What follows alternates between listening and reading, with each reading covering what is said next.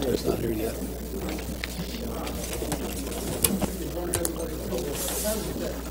Okay.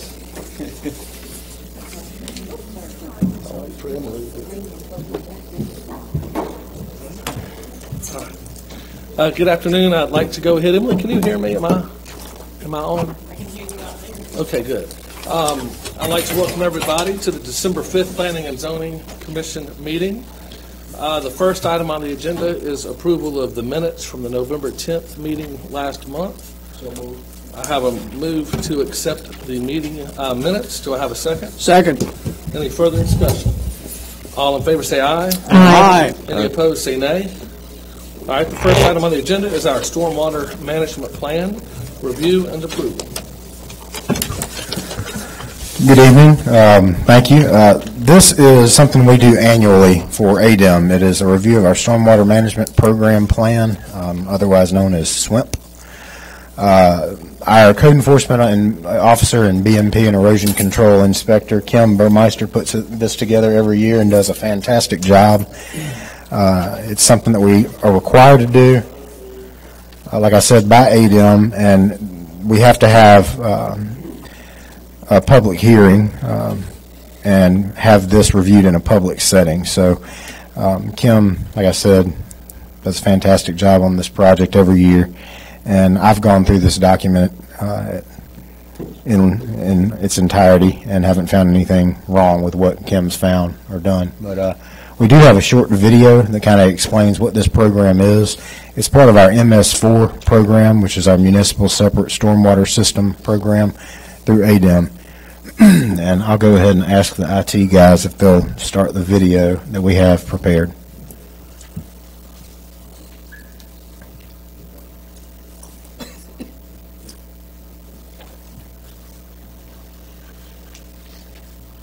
Thank goodness for IT people. If it were me, we'd be here all night.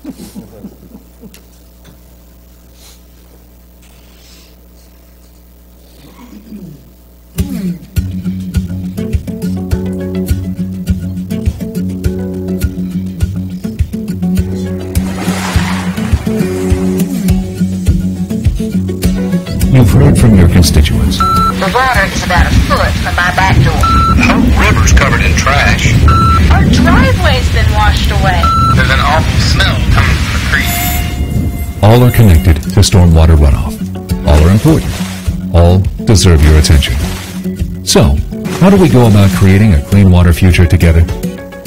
First, we must recognize that, as communities grow, the need to manage stormwater increases exponentially. Done properly, a well-managed stormwater program simply helps nature's water cycle, assuring the health of our communities and our Gulf Coast lifestyle remain intact and attractive to new residents and businesses.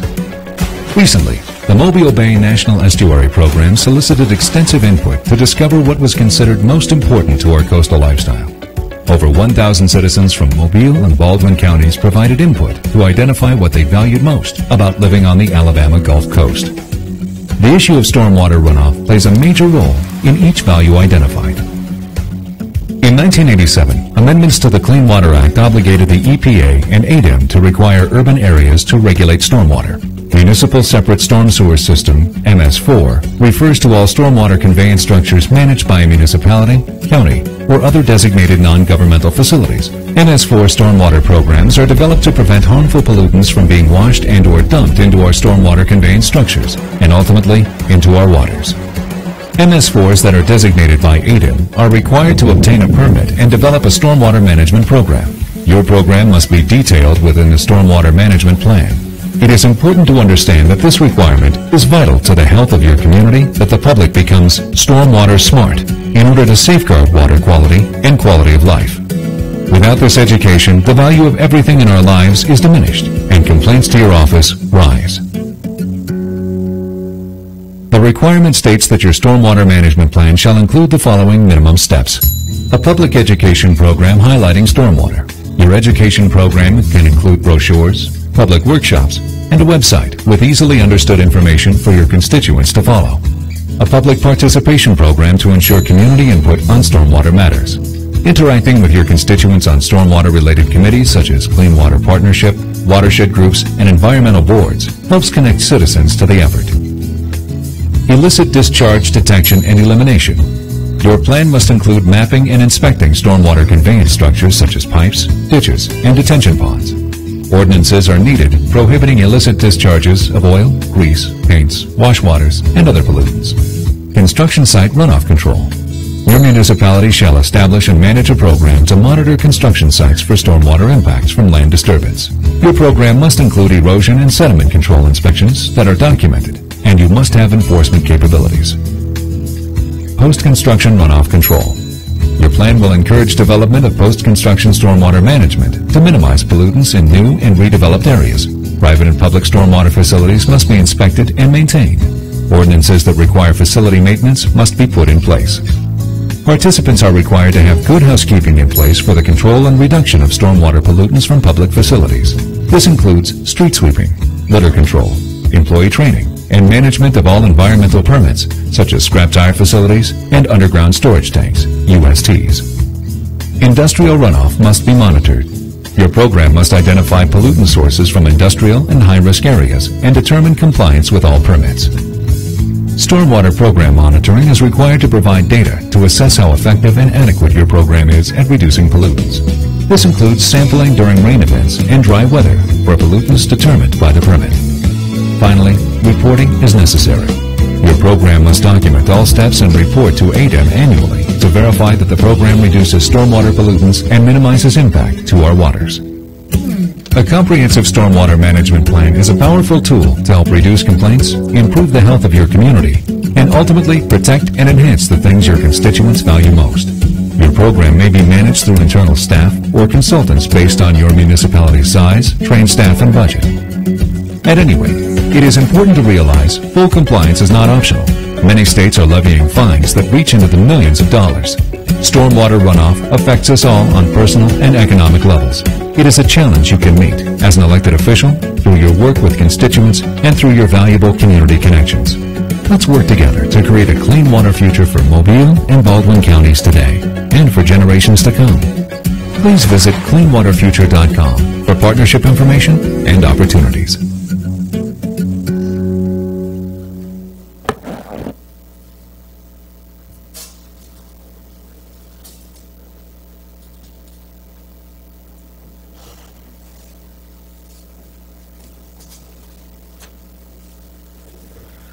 Okay, um, so that's it. That's what this program is all about. I can get into details regarding our permit.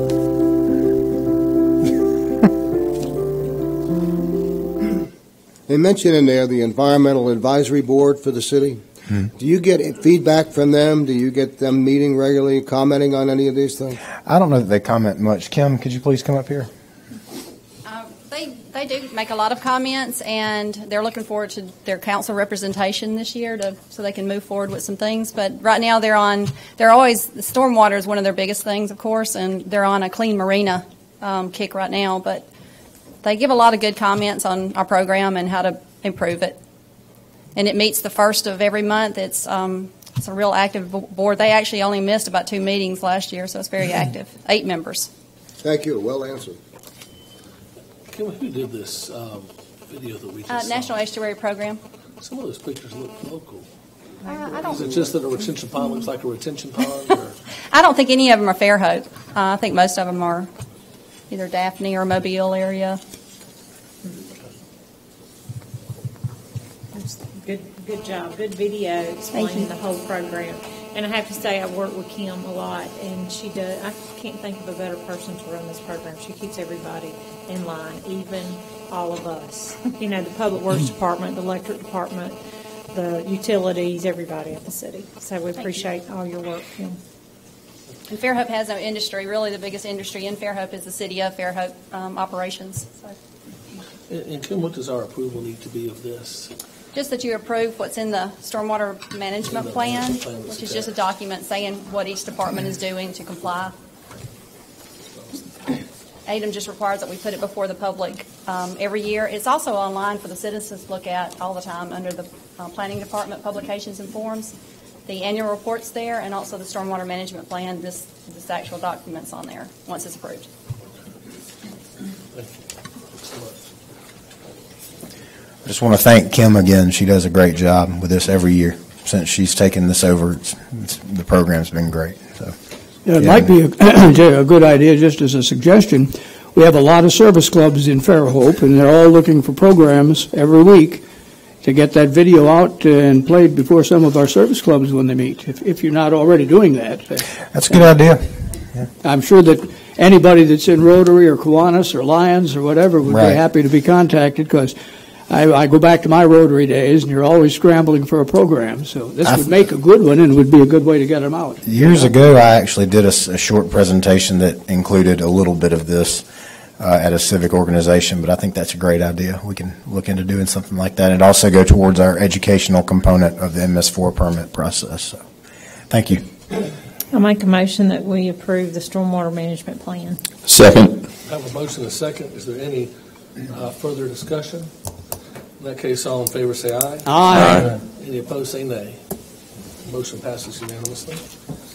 Uh, Next item on the agenda is ZC 1610. It's a uh, request by the Ellises to rezone an R2 medium-density, single-family residential uh, district to B2 general business district. For those of you in the audience, in this case, the Planning and Zoning Commission, uh, with the, using the comprehensive plan as, as our model, uh, simply votes to make a re- a recommendation to the city council for this. Ultimately, the city council, the city decides for zoning changes.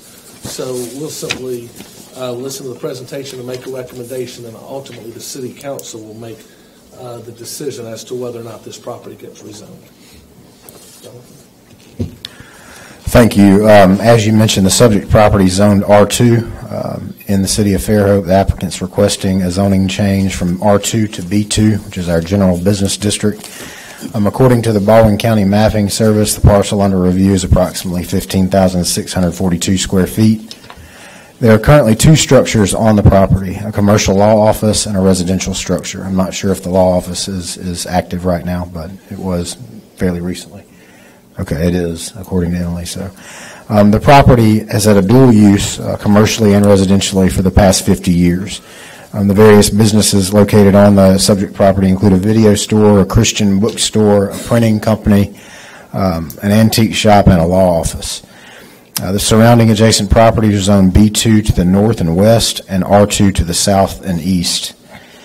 You have a site location map, and it- you you can see that the properties uh, across, just across the street, the property is zoned B2.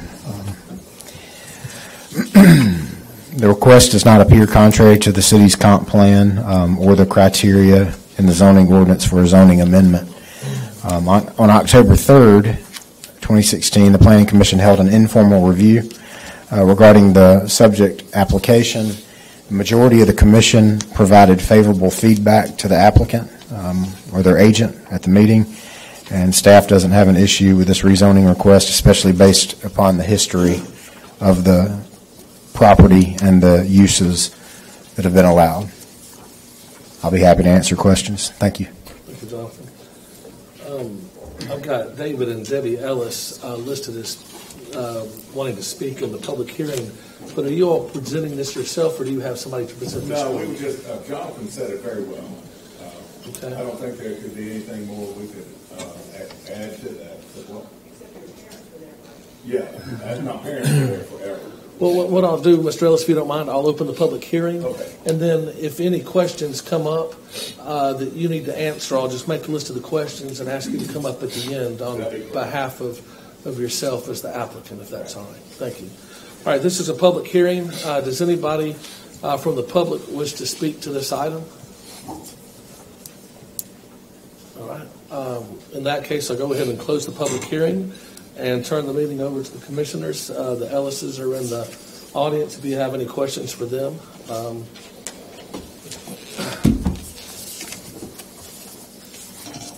I- My question, I mean, it's already used in this, I mean, in this same zoning. Is that, I mean, basically the use is the same as it's zoned now. Essentially, the property I mean, is mixed use. It's got a commercial and residential component on, on the piece of property, like I mentioned. Uh, So, yeah, you're right. And under Article 7 right now, the way it's used, it's covered under our legal nonconforming status as outlined in Article 7 of the zoning ordinance. Well, some of the people in the audience, my age and older, might remember Jack Ellis's restaurant being in that building. I remember riding my bike there if I had a few dollars to go get a hamburger or oyster poor boy. I thought it was commercial and was surprised when it came to us. I, I thought it was commercial the whole time in 30 years. How is it not commercial? How did that not? We don't know. When my dad bought it, um, I remember what he said. He said, hey, I'm buying this lot in Fairhope. And my grandfather came over to look at it. He said, a man could have bought better piece of land. because it had an old ramshackle house on it, which is still there. And uh, so he said, I bought it because part of it's commercial. and uh, it was a, a welding job there.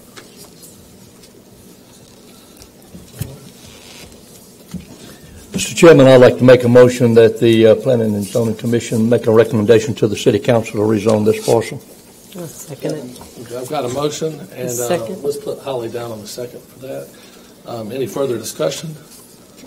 All in favor say aye. Aye. Any opposed, say nay. Item passes unanimously. Uh, Next item on the agenda is a public hearing to consider the request by Moore Surveying for a prelim- preliminary plat approval of Red Barn subdivision, a 16-lot subdivision out on County Road 33. Thank you. Uh, The subject property is unzoned and located in Baldwin County. Uh, This is not in the city of Fairhope. Uh, The total site area is approximately 114.44 acres. 16 large lots are proposed. The largest lot in the phase of the development um, in this particular subdivision is 19.37 acres. The smallest lot is 3.06 acres. The applicant's requesting a waiver to the requirement of 10 low-impact development techniques. The applicant is proposing a maximum of six uh, different LID techniques, and those are outlined in your report. Um, However, uh, overall, the applicant is proposing 75 different uses of these six techniques. So you'll have 75 different areas where low-impact development techniques are incorporated. Um, This is a large lot sub- subdivision, like I mentioned, it's, it's uh, 16 large lots, and there are a few conditions of approval listed in the staff report.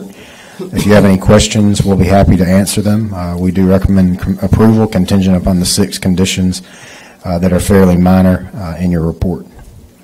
Thank you. Thank you, Jonathan. Um, Is there anyone here uh, who wishes to speak on behalf of the applicant?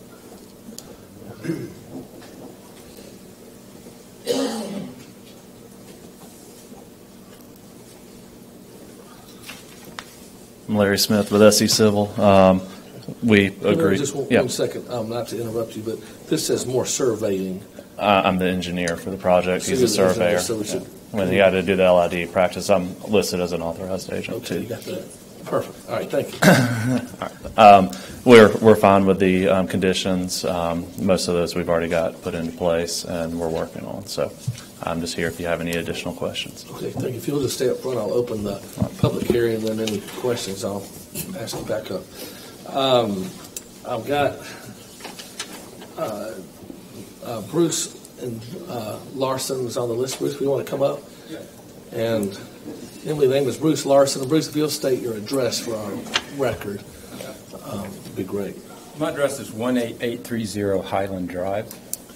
Um, And we live right on the river, which this map doesn't really show. I mean, I got this in the mail.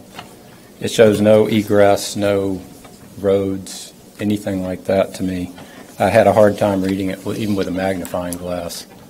Um, I know part of this property is in police jurisdiction and part of it's not. So I don't know how that affects. And the part that would affect me is a heavy slope going downhill, that in the 80s, there was a, uh, an injunction on farming on that land um, because of the incredible amount of water that runs down that hill that caused huge gashes all down Highland Drive.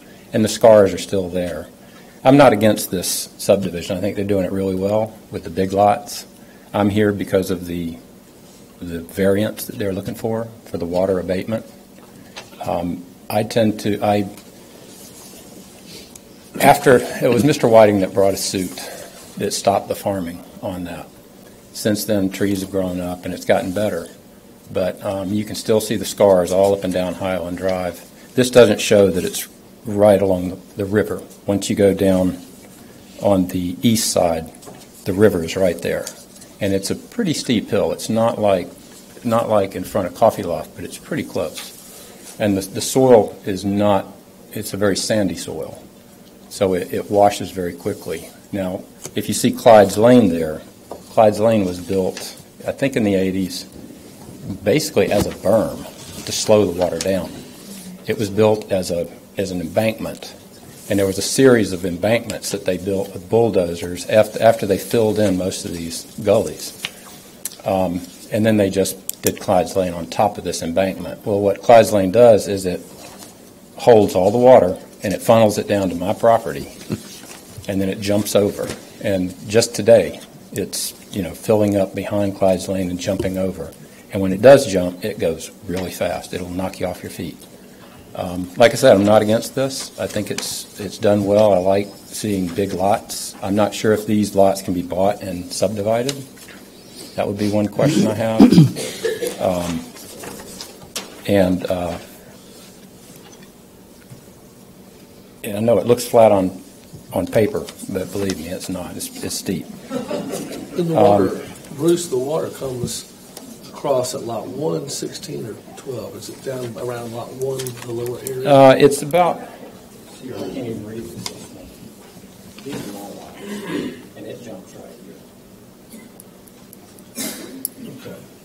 Now that, I'm not sure if there- that's a question I have. That's the extension of Clyde's Lane, but there is no extension.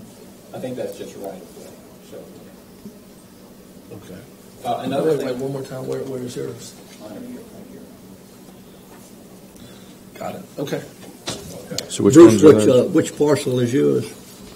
Uh, I'm not, I can't, it's so small, I can't even read it. It's right about the middle of I can't either. Look at this, to- look at this one, and I think this one's a little bit easier to look at the way the water He's- goes. he's got- I'm right in here. He's got two of the lots I've got two lots. in, in between that's six where, and You ten. know, I'm, I'm moving my shop. Um, I, I, I work, I'm an artist. I work under my house. Uh, two years ago, I was in New York presenting Chelsea Clinton a piece, and we flooded. There was only a 40% chance of rain then, so I felt safe to leave. I lost $40,000 worth of stuff. Now I'm trying to move up the hill where I can safely work. And this, I'm not saying it will endanger me, but I do say that any, you know, the, the water coming down that hill needs to be, uh, and I don't mind if they want to put a pipe or help put a, a gully through my property. I know water runs downhill. But, um, you know, the variance to that is, uh, you know, is why I'm here, like I said. Uh, and also, I want to tell you that, that that field is full of gopher tortoises, which are, um, which are endangered. So I'm here for them too. Um, but uh, I guess that's about all I have. Um, I know um, my neighbor Karen Kennedy wanted to talk too. She got here a little late, too late to sign the page. So. Certainly.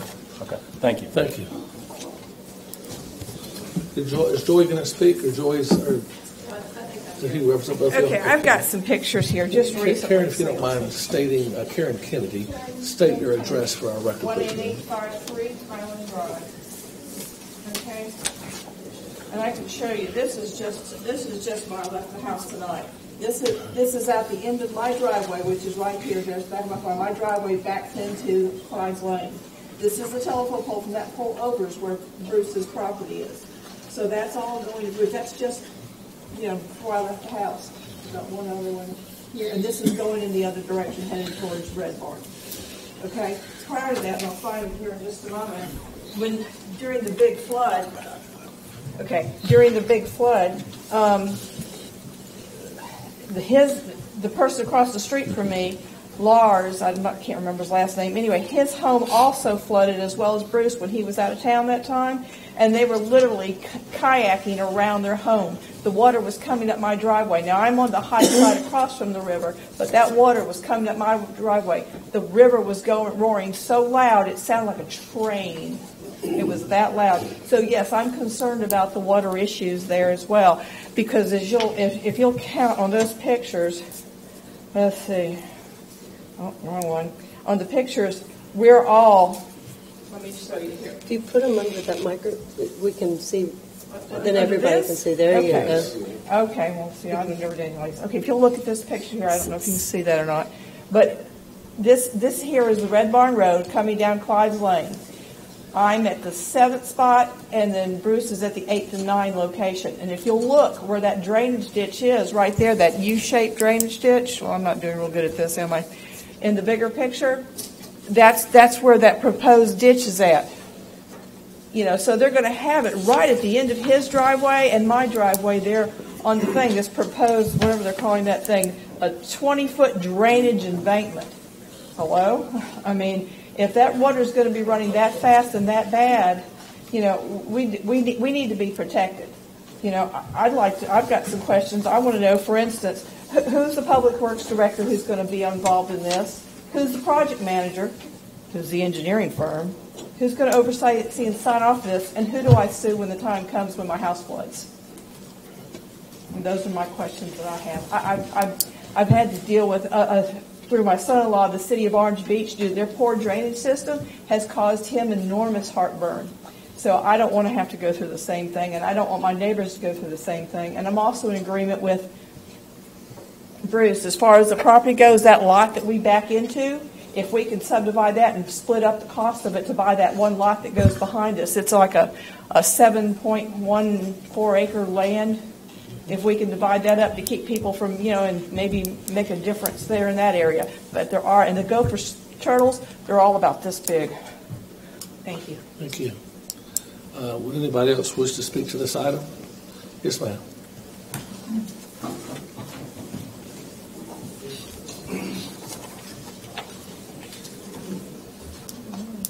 How are you? Hey, I'm Stacy Bishop. Um, first, I want to Hey, say, Stacy, if you'll tell Emily your address for the record, please.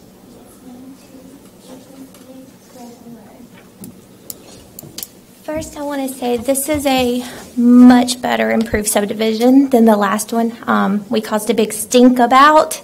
That may be why I didn't get a letter to this one. but um, I do what I want to know because I've had a friend, which may not be a friend after this, but one of their things they're looking at buying one of the lots to turn it into the headquarters for their landscape service. So if this is labeled a subdivision, is it, do they have the right to do that? And is it also going to be single-family subdivisions, or say one of the ones that buys the larger lots, can they come in and put mobile homes or multiple family living, something like that? And also, the same thing as they're talking about, that backside where that drainage is, anybody that lives down there knows the water issue uh, coming up and running down from that road. It's just a gradual. We don't have an issue with it besides the, um, it does run our yard into our sister-in-law's, but when you get closer to the water on their end, that pond and drainage system really needs to be very sturdy because if it was to ever blow out, a storm, say that bad, that comes again, if it's because it's blown our pond dams out a couple of times when it gets that bad. And if it does that, those people are going to have water coming up at them and running down at them. And so just that needs to be very well done. Okay. And your family's been at that land for how long? Oh, I have no idea. It was, yeah, a while, but yeah, yeah.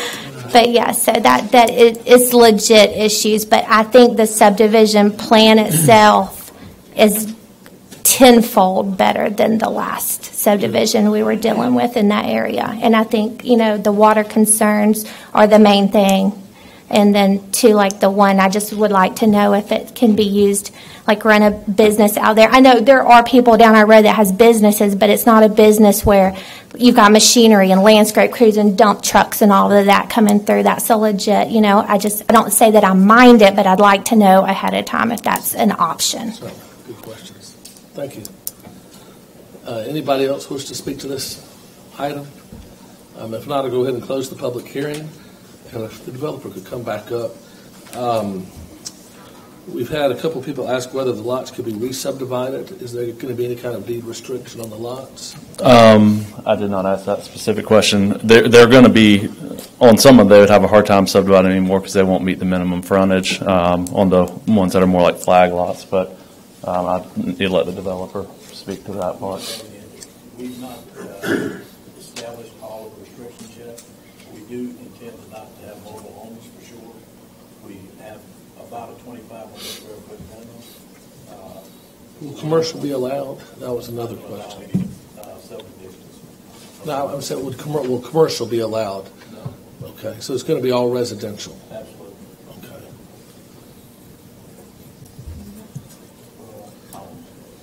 Okay. And can you also, the very big question was, um, if you see the water goes out, it looks like in the middle of lot 16. Correct. And a number of people were asking uh, what, what type of uh, steps you've taken to uh, protect the people downstream of that.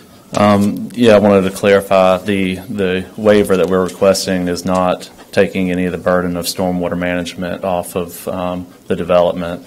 Um, They're still managing their stormwater, they're still reducing the rate of runoff, and each um, individual lot is going to have their own um, system for doing that. We've um, designed several scenarios for them. Um, So ultimately, the overall runoff from each lot will be reduced. The 20-foot drainage easement that they're um, talking about is actually an existing easement on the property. It's not one that we're proposing, it's not one that we're culverting water through. It's an existing easement that follows the, um, that property line. And what are y'all doing with the water in that easement to slow it down? Uh, We have not looked at anything on that. We were, we're, we're talking about a six acre lot and we're putting a 3,000 square foot house on it. Um, We are localizing, which the intent of the LID practices is for you to, you know, treat stuff locally. So outside of each of the home, we're having rain gardens and bioswales that are proposed. Then they're going to surface drain from there. Um, We'll gladly meet with them and look and see what we can do to uh, help with the water that's in that um, going through that drainage area, but we're, we're looking at 3,000 square foot over 120,000 square foot of improved area. I mean, the 120,000, that, that particular lot, actually, that one's 240,000 square feet, and we're putting a 3,000 square foot house, or plus or minus roof line.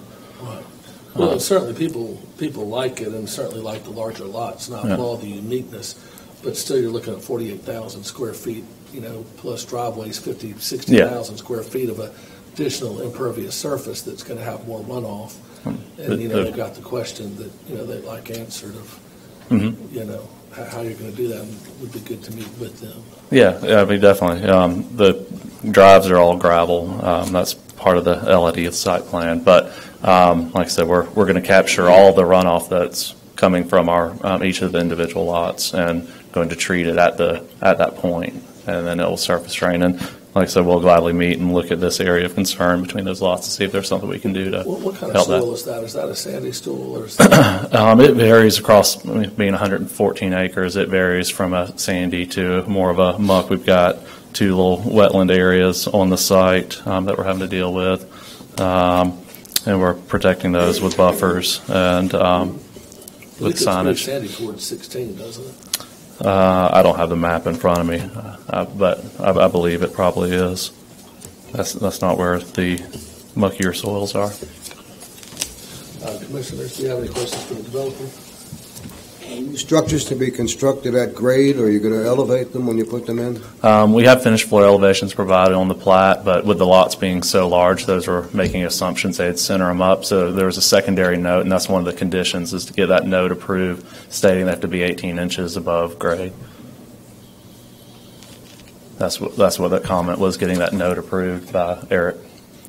I have a question. Um, Are all the lots proposed to be uh, with homes on them, or are are any of them going to have green space, natural green space, common area?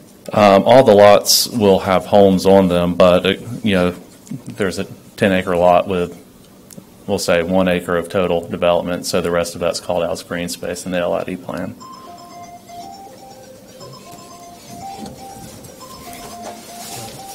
Any other questions?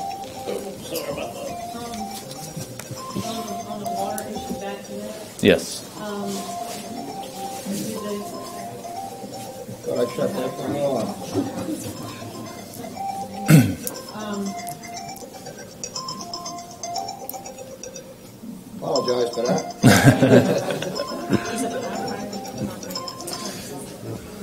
Now we'll shut it off. I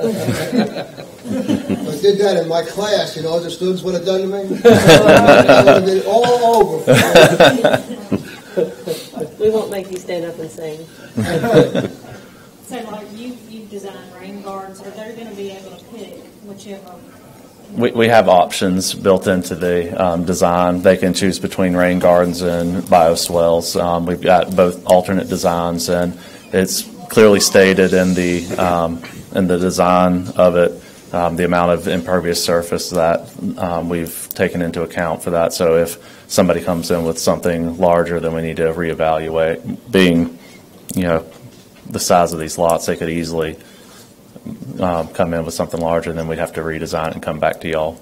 But as far as the residential, if somebody comes in and decides to build a mansion on one of these, it's obviously going to change some of the um, impervious surfaces, and we Say you would make the rain guards or whatever larger. larger, then you're gonna be doing the design for each individual lot, or how does? We, we've already done the design for each lot, and but that's based on assumptions. If some somebody comes in and tries to develop more than that, than the assu- assumed um, impervious areas, then we'd have to come back um, to y'all and get that alternate, the larger LID practices approved. One of the questions that was raised was who is going to be making sure that that is installed Um, and that is the wording that um, Jonathan and I have been going back and forth with. You want me to read it? Um, ultimately, um, when the question was first asked to me, I asked, you know, how do y'all look at it on a normal commercial site? Who who approves the installation? And um, I think the answer I kept getting back was the engineer. And so we're going to put into the wording of the um, for the CO. Any CO has to be um, submit an as-built certification by an engineer. This is the wording that I proposed, and Jonathan and Eric said might need a little bit of tweaking, but overall they're they're good with it. Am I correct there? Um, this is the proposed wording: is the individual landowner and/or builder is required to submit an as-built certification for the required LID practices at the time of request for a certificate certificate of occupancy. The as-built certification shall be signed and sealed by a registered professional licensed in the state of Alabama, and that would be on the plat.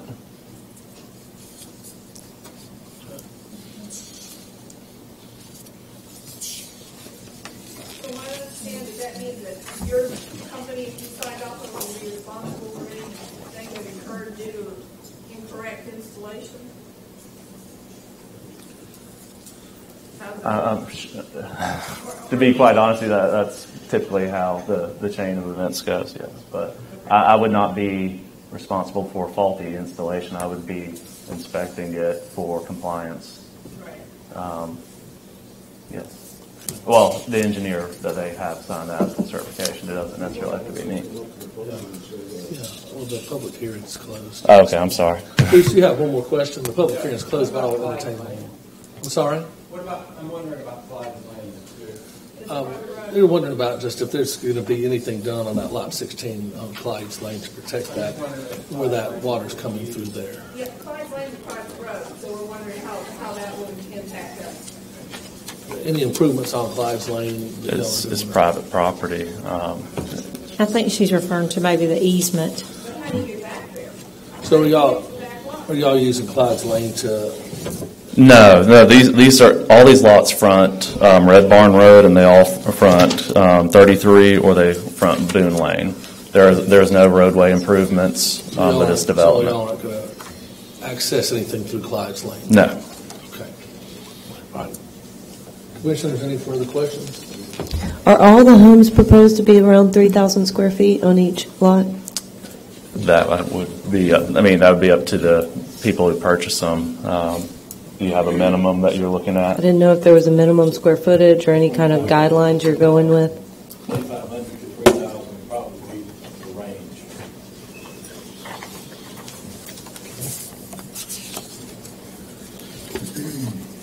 Any further questions? Well, I'll entertain a motion. Um, I, I got one more question about the tree inventory. I noticed there wasn't one because There's no improvements with this project. Um, All the, the only improvements of fire hydrants in the right-of-way where there are no trees. And that excludes it. I have another question. How do we protect the gophers? Um, The, What measurements do you go to? I- I- I I Typically, when you run into gopher tortoise, you protect that one area. Gopher tortoise are known to move around, um, and so the biggest issue with gopher tortoises is our indigo snakes like to live in the same hole with them, and so one you would probe. Um, you would probe um, the hole to see if there was the actual endangered species, which is the snake, find out if it's in there, and then if if it's not, you can either relocate the gopher tortoise or you can protect the hole. So you're prepared and know how to, to, to address this and, that we would get. Um, so I, I'm not personally. right, um, but you've come across this, you're aware of the situation? Correct. Okay. All I wanted to know. Thank you. Any further questions? If not, I'll entertain a motion. Mr. Chairman, I make a recommendation that we approve this application with all of uh, staff's recommendations. I have a recommendation to approve the staff, uh, have a motion to approve the staff recommendation, uh, six items. Um, I'll second, but would it noted that that was with the contingent things that were loaded in the staff's recommendations? Yes, sir. I have a second. Any further discussion? All, Is that with the waiver of the LID? That's part of the recommendations, the waiver was, yes. yes. um, all in favor say aye. Aye. Any opposed say no. Um, Motion passes unanimously. Uh, Next item on the agenda is the public hearing. um, The request of Jade Consulting LLC for a multi-occupancy project, approval of Grand Point Motor Coach Resort Phase One, a 45-unit project on Highway 104, just east of Hickory Road. Uh, Thank you. Um, The subject site consists of approximately 39 acres and actually 45 units, motor co- motor coach units are proposed. Property is currently unzoned in Baldwin County. Um, And just be mindful about the land use aspect of this. The city has very little land use authority in- on unzoned county properties. Uh, Staff engaged Larry Smith, uh, who we just heard from, with SE Civil Engineering for a third-party review of the proposed subdivision. Um, The applicant elected to table the subject application once to address the concerns of staff and SE Civil Engineering. Um, Final review letter from Mr. Larry Smith dated November 22nd is attached uh, in your report, or in in your, in your packet, excuse me. Um, Aside from minor issues outlined by Mr. Smith's uh, final review letter, the proposed multi-occupancy project appears to be in substantial compliance with the city's subdivision regulations. Um, From what I understand, there will be small micro cottages on each one of these lots, and people will purchase these like a condominium, these, these, these- these lots, and uh, they'll have a place to park their, what I've been told, luxury motor coach um, vehicles. So I believe the de- the developer is here, and I would request that they come up and give a few more details about what is going to be done here. But as far as the engineering review goes, we didn't see anything uh, substantial enough to have any issue with this, so we do recommend approval contingent upon all of the minor aspects of our engineering report being worked out. But at this time, I think it would be appropriate to have the applicant come up and give a few more details about the project. Thank you. Jonathan. Um, Is anyone here to speak on behalf of the applicant? Good evening, Mr. Chairman. I'm Trey Jinright, Jade Consulting.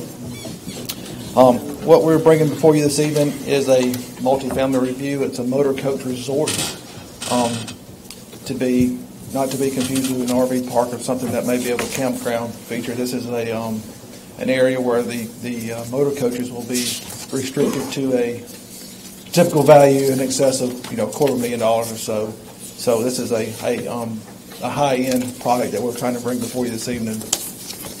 It should be noted that this project is um, unzoned. It's in the, in the county's jurisdiction as well. They require us to bring it to their planning commission, and it went through their approval last Thursday night. So We've gotten the county's approval, and now we come before you tonight with your approval. This project, um, in the drawing packet there, it shows two phases. The project that we're only looking for approval tonight would be the first phase, which would be 45 units. It's, um, it's our pleasure to, to bring this to you tonight with the, with a statement to say that we're asking for no LID waivers. Um, I'm not aware of a project in Fairhope that's ever requested that before. Um, and so this one, um, checks all the boxes in your LID requirements.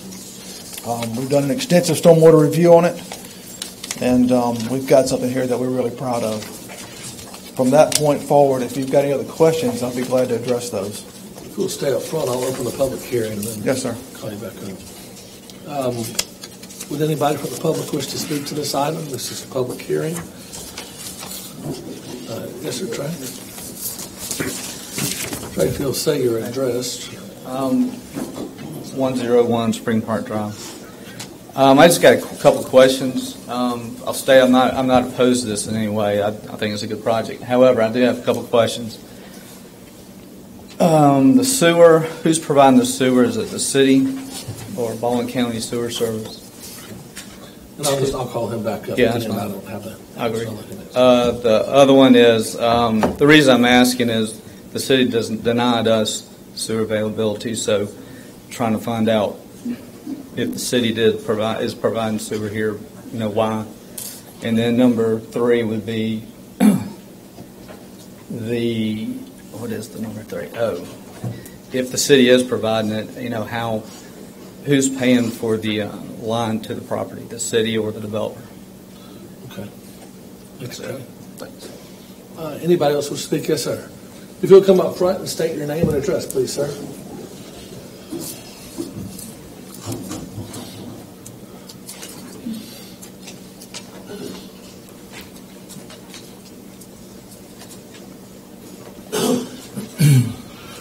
My name is Larry Bridges. My wife and I live at 11, 211 Highway 104. That's that little bitty piece of property that is directly connected to the uh, subject property development. I, I attended the county uh, uh, meeting, and I've never seen a faster train in my life. I didn't get the answers to my questions. My first question was, are they going to provide electrical hookups for these motor homes? And if so, are they going to require the people to use them? It's Like a noise problem. Talk about the electrical hookups. Electrical hookups. You're concerned about the noise from generators. Have you, have you ever been into a very large motor coach place?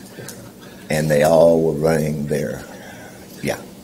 I'm very concerned about that, and I'd like to get it on public record from them that they are going to require, they are going to have hookups. I talked to the developer last night, and he said they were going to supply hookups, but he did not say yes or no as to whether they were going to require it.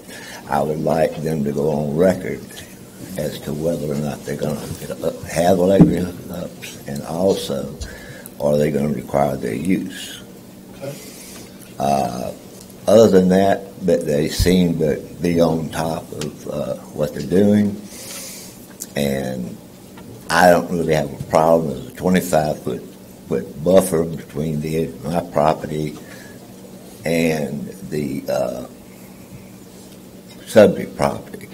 One thing when I saw that it was adjacent to Hickory Road, that's incorrect. It's two tenths of a mile going east is their is their property line.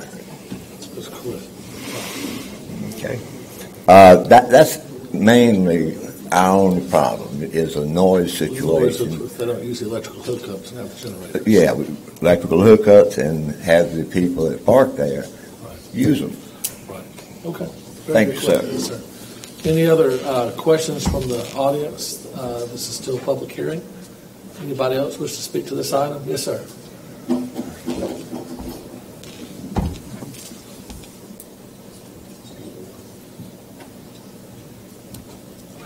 If you don't mind stating your name and address for our secretary. Matt Kilgore, 115 Road. Thank you for allowing me to speak tonight, first of all. Um, I am a resident of Fairhope. We live down around the corner from where this development is going to be in the uh, Lynn Ridge subdivision, which has been there for many years. Uh, This is more of an overall comment on the current status of that part of our town. There, uh, along with, uh, with respect to the developer, his, his proposal for what he's planning to do. In, in recent months, there have been approved uh, 208 units, housing units out there. There are 67 more on the agenda tonight, and these are both Phase One projects for this quarter mile area. Uh, As a town, we have adopted the, the low-impact development model, or are attempting to, and have always attempted to develop the town with a, if you excuse my vernacular, 10,000-foot view of where the town is going, what we're going to be like, not just in the next six months or the next six years, but the next 15, 20, 30 years. And if you go out and look on what is uh, currently being done out there and is proposed to be done, granted, they are all very nice looking developments. They've considered their wetlands, they've considered their impact.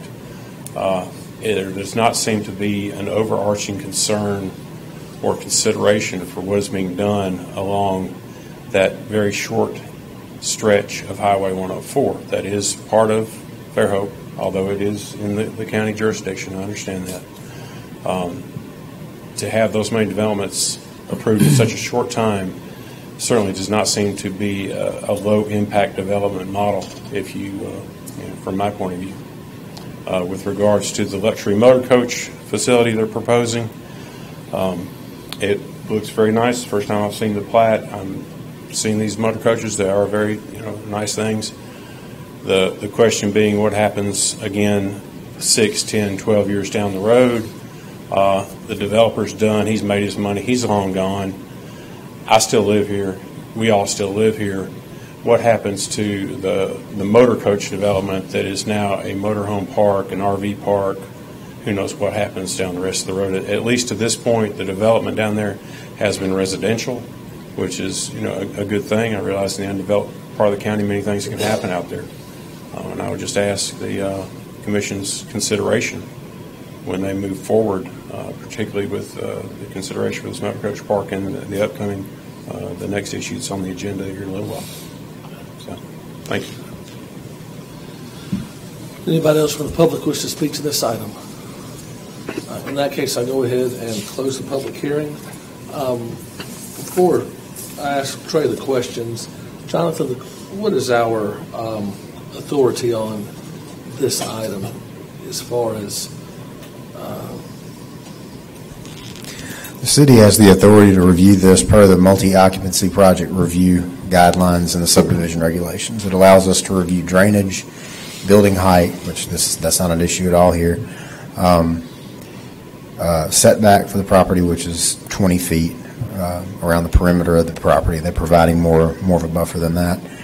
Um, And traffic, and that's, that's about it. So we, we've addressed all those issues. There were a few engineering items that were, um, that were, that need attention, but those will be addressed. So they're, they're minor uh, as far as our scope of review is concerned.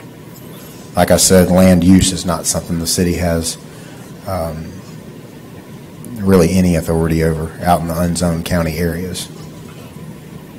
thank you, Jonathan. Thank you. Uh, Trey, uh, we had two questions. Uh, Number one, uh, where are you all proposing to get the sewer from? Um, the sewer is, um, city sewage, and we're running, the, the developer is gonna pay for the, for the sewer force main that we would pump from our project up Highway 104, and so that's in the process of being permitted now with the DOT. Okay.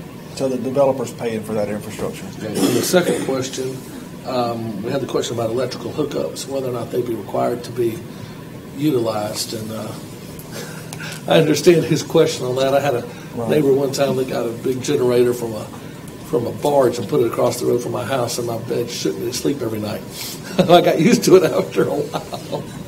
I'm going to let the, um, the developer, Mr. Pat Ashley, speak to that one. Um, but I won't, I did want to talk touch on one other comment that the gentleman mentioned. Highway 104 is regulated by the DOT, ALDOT. Um, And so we've had Skipper Consulting, which is a, um, is a extremely reputable consultant with the uh, DOT out of Birmingham, perform- perform a traffic study for this project. Um, That's been submitted to ALDOT. ALDOT has came back and gave us the thumbs up that an intersection will be allowed at this location on the property. We just have to work through the finite details to get that permit handed, but they have provided us an email stating that access will be allowed at this location. Um, Jonathan had mentioned that third-party review had provided a few minor comments on there. We have since addressed those. We've met with the third-party consultant and have all those things ironed out. So um, from our standpoint, we are comment-free at this point unless the planning commission wishes to address us with some other items. Um, But with that being said, I'd like to introduce Mr. Pat.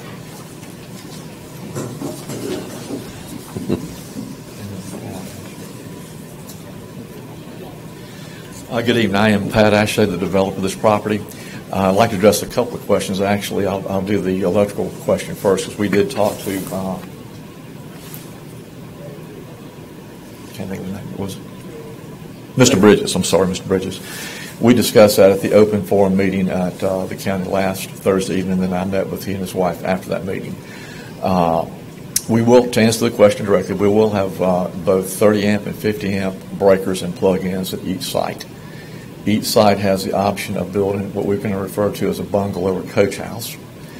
Uh, Minimum uh, heated and cooled square feet, and that's roughly 500 feet. Uh, Overall, under roof's about 1,000 feet, and that would be open porches such as a fireplace, outdoor living area, outdoor kitchen. Uh, As the question has come up uh, again about the generators, this is going to be a land condominium where you purchase your lot there, much like you would any other development. So you're going to own, which kind of goes back to your question. I want to get back to that question in just a second. But the concept here is a land condominium where you're going to purchase your, your unit, your site. And there are going to be strict regulations within the condominium documents as to what you can and cannot do. Uh, in working with Trey, if you notice, all of our sites are way off Highway 104. That's done by design. That wasn't by accident. Uh, Part of that is uh, tremendous tree cover in the area that we have on that property from Highway 104 back to that area. It's good tree cover everywhere for that fact. But I wanted to retain that tree cover for sound deadening noise for the residents that will be purchasing these lots and building their coach house potentially. It's not a requirement they can build a coach house. I want to be clear about that. But also from a visual aspect, you will not see these coaches from uh, Highway 104, even though these coaches are designed as a Class A diesel motor coach. Uh, Kind of wandering off on that for a second. Let me get back and address the, the the noise issue related to the, uh, to the, to the generators.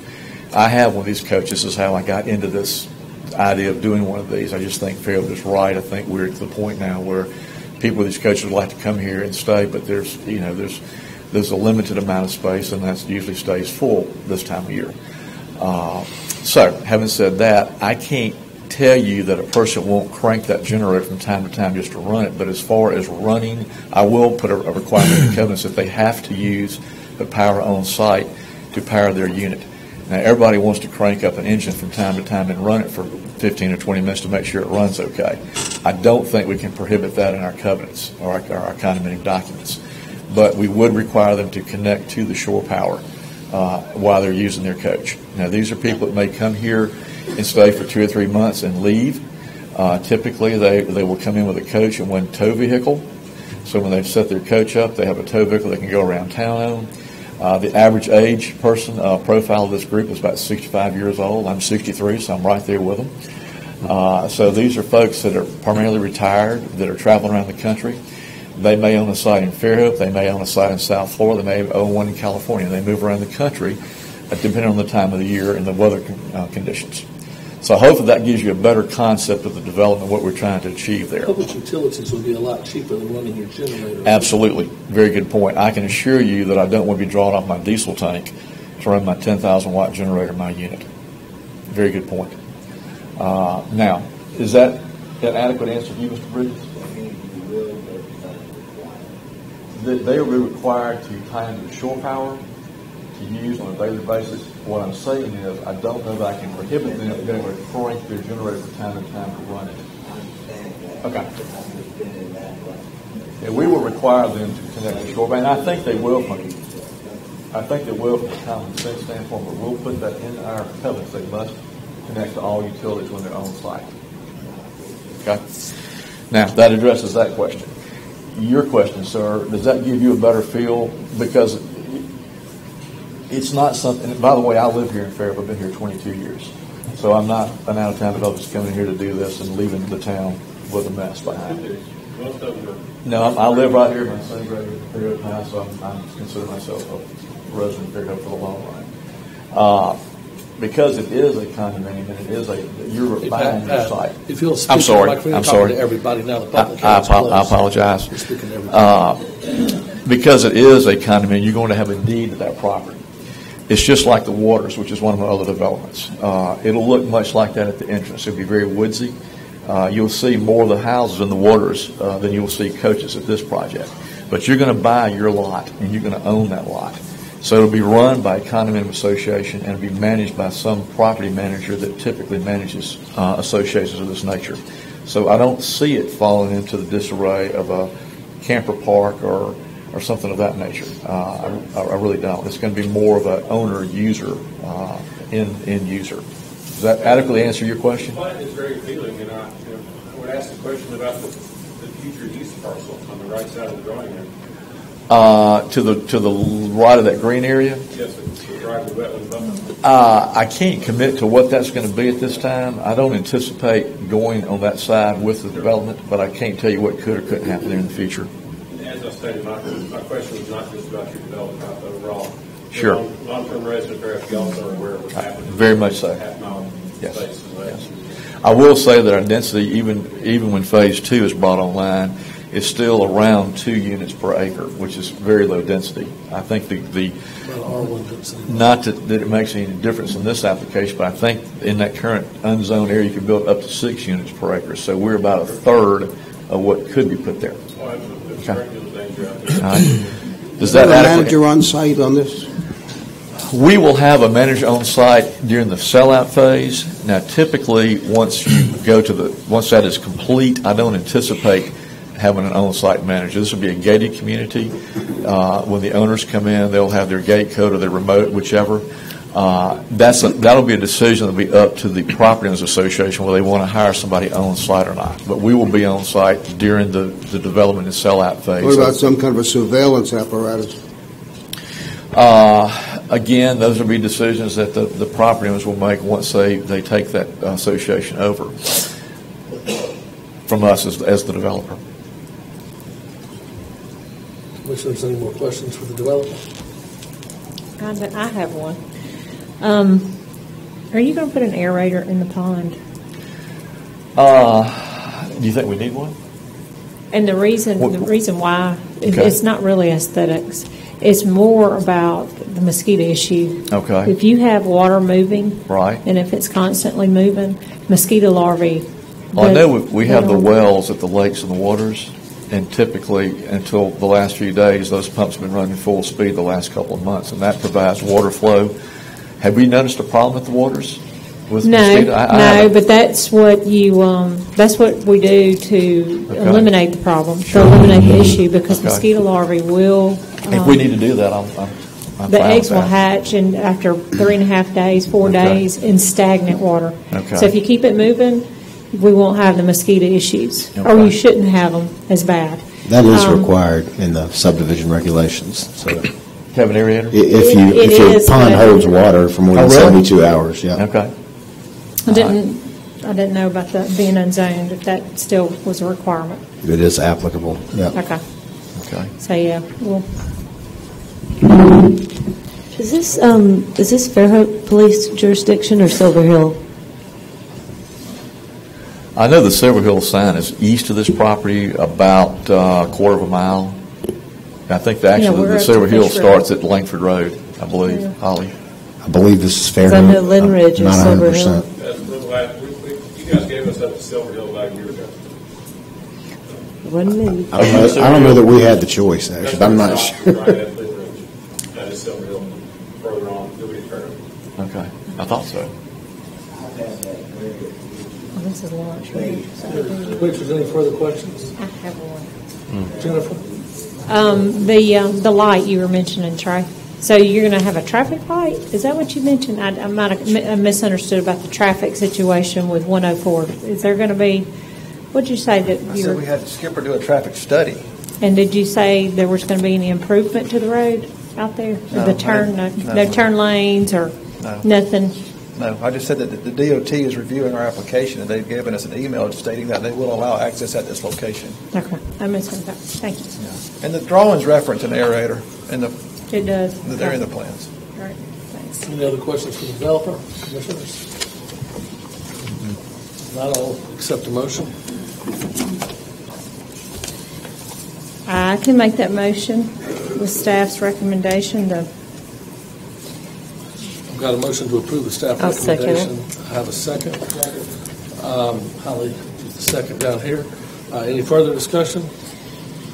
All in favor, say aye. Aye. Any opposed, say nay. All right, um, I'm going to have to recuse myself from the next item on the agenda. So George, if you'll take over, do you want to use my chair, or are you going to?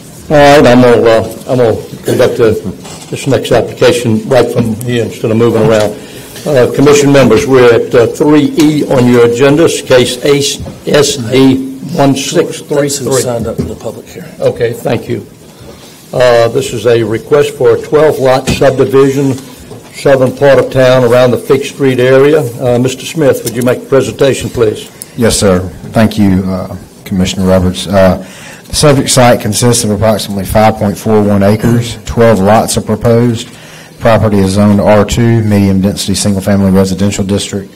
Uh, The area and dimensional requirements of R2's district appear to have been met. The lot sizes are uh, all larger than the minimum lot size of 10,500 square feet required, Um, and the lot widths are at least 75 feet linear feet at the front setback line.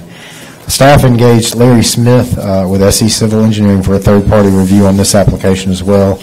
Um, While there were no major issues with uh, the engineering work involved in this particular application, there were some issues that were brought to light fairly recently that were not taken into consideration. Um, And these are, uh, have been determined as major issues by our our uh, elected officials and also our city attorney and staff. Um, It's just, it was something that we didn't think about, or I I didn't see. I thought this was all single-tax property, but the applicant is proposing uh, the stormwater facilitation for the development and a park um, to be public on city property that's adjacent to the single-tax property. Um, It was something that we did not notice at first. One of my staff members, Nancy Milford, caught this, I believe, uh, along with a couple of other residents in town, and uh, I commend them for that because I, I just assumed this was single-tax land. So um, along with the issues that are addressed in Larry Smith's uh, review letter, his final letter to the applicant, staff would like to change our recommendation uh, for this project. Um, While this is an interesting project, there are a lot of things that need to be worked out. Um, I would recommend that this is tabled indefinitely until the city council, Mayor Wilson, and the city attorney can come up with all the appropriate language and approvals that are necessary to do this type thing on City of Fairhope property. Um, As I mentioned, I thought this was all single-tax property, but there is a portion that is single, that is City of Fairhope property. So I think that would be the most responsible thing. And if the developer is not willing to table this indefinitely, because I don't think this will be handled within 30 days, and that's the only, that's the only authority the city, uh, the planning commission has to table it. It's one time for 30 days per state law. If the application, if the applicant does not, uh, if they're not willing to table this application, then we would have to recommend denial based on the con- concerns of staff, uh, our elected officials, and our city attorney. So if you have questions about the development, I'll be happy to answer them. It's pretty straightforward. Um, It is a very interesting development. I think it's a great way uh, to utilize some of the properties in Fairhope that are underutilized. Our gullies are, uh, are a great resource, but I do believe that there's additional work that needs to go into this uh, to make sure that it's an appropriate place for what they're proposing, and also uh, to make sure everything is legitimately handled on the city side as far as from a legal standpoint and also from uh, a land use standpoint. Thank you. Jonathan, Uh, Mr. Smith, uh, keep- it, uh, commission members, y'all have any questions of Jonathan before we get into the, okay? Yes, George, I have, I have not a question, but I was very interested in what you said, because when I looked at this thing, the one question I had, which I wrote down here, was a note that the detention pond was on city property, and I was going to ask you if we'd ever done anything like that before. I couldn't recall whether we did, and, and I was concerned about if we did accept that, that we might be setting a precedent, and so you've Well- answered my question in advance. Well, we have, we have allowed small drainage facilities to be on city right-of-way, which is not necessarily like this. Um, This is uh, a much larger, larger scale area. Um, We've allowed it in, in some of the best developments that we've recently had. One one is in Point Place down uh, off off Twin Beach Road. Uh, We allowed um, some stormwater facilities within the right-of-way to be taken care of by the homeowners association. And that's very similar to what they've proposed here. It's just on a larger scale in this case, and also it's on city property, it's on an actual body, a big, a large portion of land owned by the city of Fairhope. So I think that there are uh, some folks that would like to speak to this, but uh, if, if you have any other questions, I'll be happy to answer them. Any other questions for Jonathan? I think it is going to be a precedent. I think Bob is absolutely right. And One of the suggestions I would make, you know, we've had a discussion on this, is this is not a bad idea. It just has to be done properly so that somebody doesn't think that we're giving something away.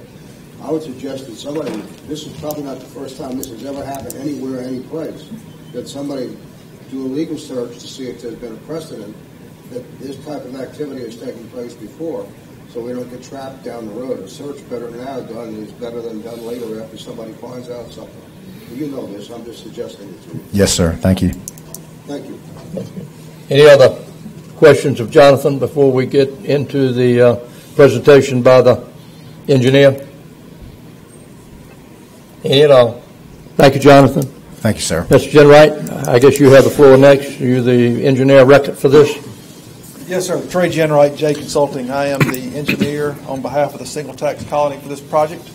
Um, Similar to the project I had mentioned to you, or y'all had uh, voted on uh, previously, this project uh, has 11 LID techniques. And so um, Trey, would you, yes, there you go. Thank this, you. This project has 11, 11 out of the 15 LID techniques in place. Um, I mention that because when we first had our initial meetings with single tax, we looked at this property as it is currently sitting on their books and is a, um, a dead asset for them. It is a liability with no revenue generation. That's not a concern to the planning commission, but it is to the, the colony itself. And so if we went in there and developed this out, we could go and develop it like any neighborhood that's the city of Fairhope has seen before, where we would have common detention ponds, um, and we would have those maintained like they are. But the way that this piece of property sets itself up, it, it gives it the opportunity to do something very unique. Um, and the fact that the single tax colony is out, allowed to do it, being the fact that they're a nonprofit organization, turning a profit is no longer the main objective for this project. So we looked at it as from a demonstration project. If you had the means to do something unique in the city of Fairhope, what would you do? Don't look at your property boundaries as your end all be all. Back off of it. Look at this thing at 30,000 feet. What could you do?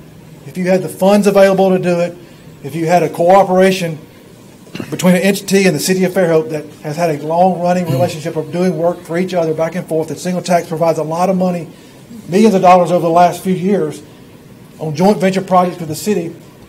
If you parlayed that history into a project of this nature, what would you do? Would you confine yourself to the limits of the property, or would you look at other opportunities that you could bring to people to show them as a demonstration project? Hey, guys, let's raise the bar for our community. Let's do something not just to get it sold and, and to cash out and move on to the next one. Let's do something that we all can look back and go, that was really neat. We can all be proud of that.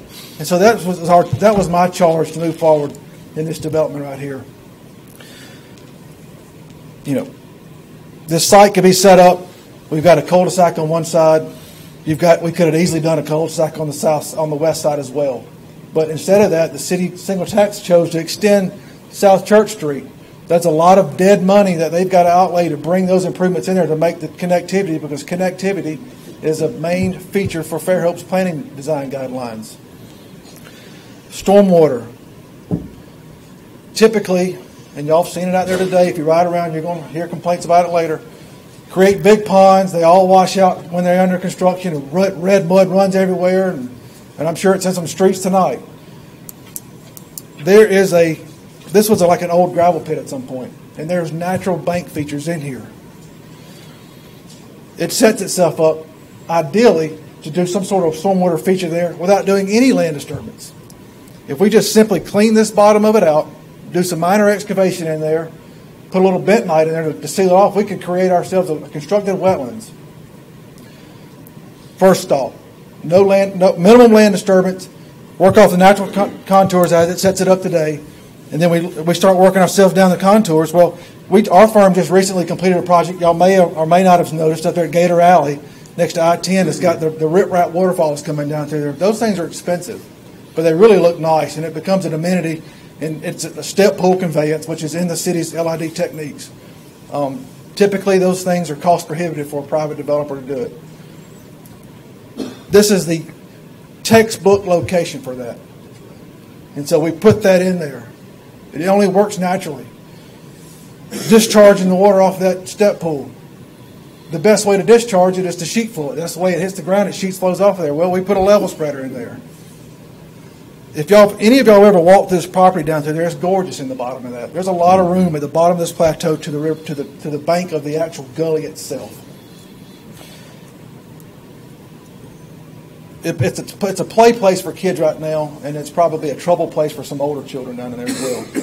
If we brought some sidewalks in there to make it an amenity so that everybody could enjoy it, would be pretty pretty neat. And then I got to thinking, well, what if you've got this investment in the step pools and the rocks and the, and the, and the constructed wetlands. And what if we tied all that together with our trail, put a boardwalk in there so as you walk through the trail, you walk across the boardwalk, you look up the whole waterfall feature right there, and it'd really be cool. You could put some benches in the area and really make it nice.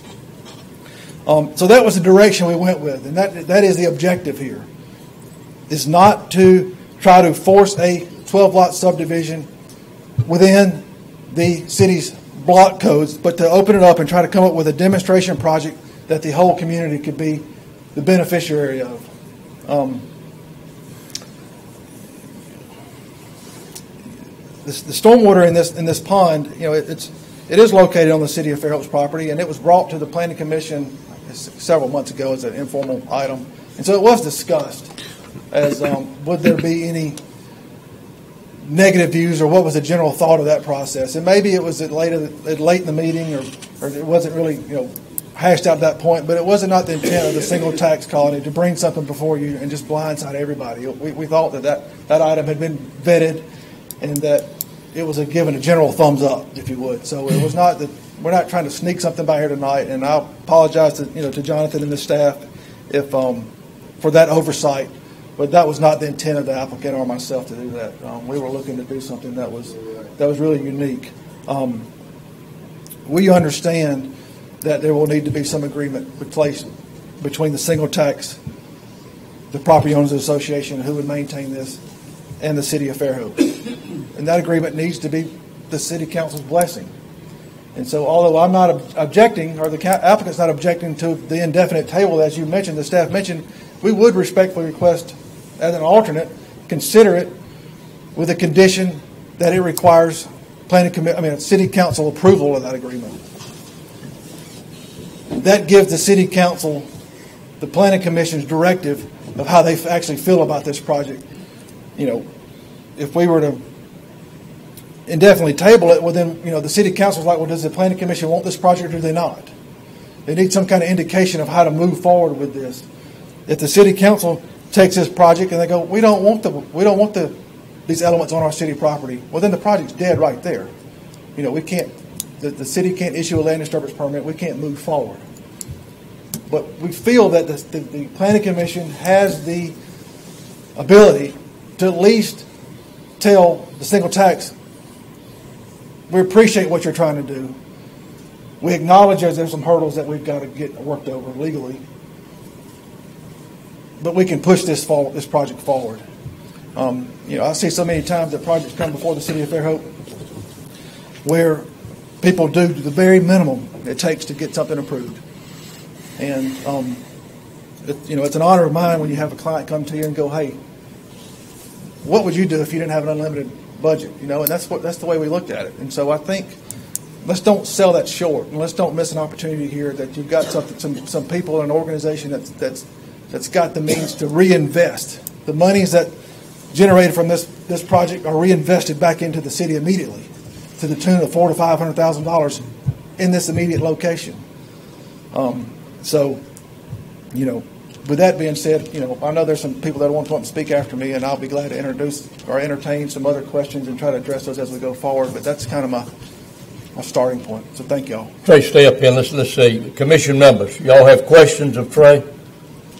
All right, Bart. As I look at the map, uh, I see the, uh. Right, but pull, pull your microphone down, please, so everyone can hear. Thank you. As I'm looking at the map, I, um, I see the uh, area that uh, is to be developed with the, with the lots.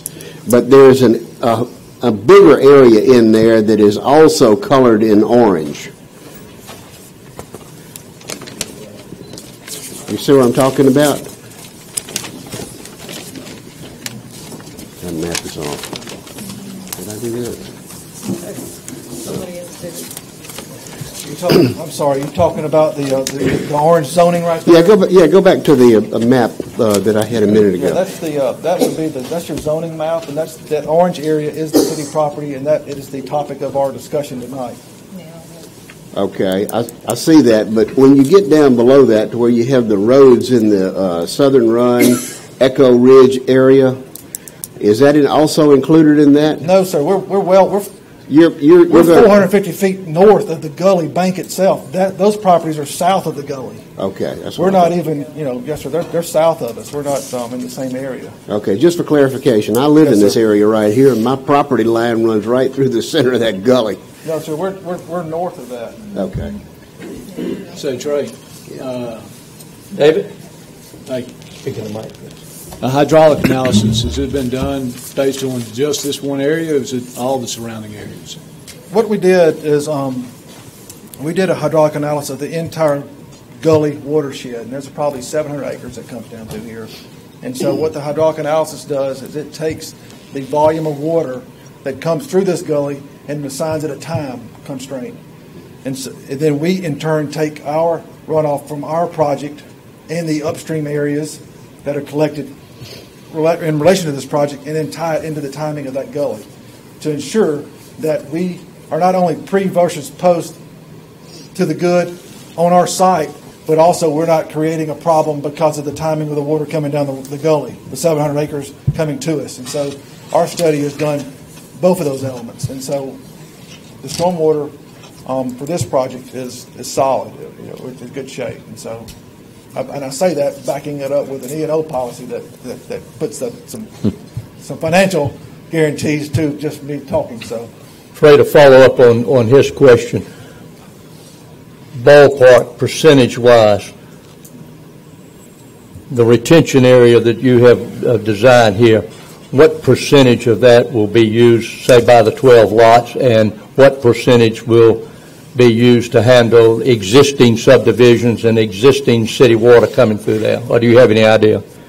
Generally speaking, this project is probably around the thirty percent range of, of actually true twelve lot impact versus South Church Street that we're improving, the properties that are on the north side of Fig that are coming through there, and so, you know, we're picking up considerable amount of off-site water that we're actually funneling, funneling through our project. So- So, so this design will take care of, what, 70% plus or minus uh, Well, it's al- extra it's water almost- or it's almost- existing water that's coming? It's almost three times, you know. that- Three times, oh, Yeah. okay. Yeah, it's almost, you know, it's almost three times. You're taking all the off-site improvements outside of our development. This, this project's picking up that water and handling that. So will this thing fill up with water and stay full of water, or what are you going, what are you planning on doing with it? Well, it will be a, um, currently, It is a, a gravel type material, sandy type material that, that catches water from the rains and then it's percolating into the ground. And it percolates in the ground under an uncontrolled condition. So if it's raining cons- considerably, then there's water standing in there. If it goes to a dry spell, the thing dries up. Um, what we're going to do is actually make it hold water.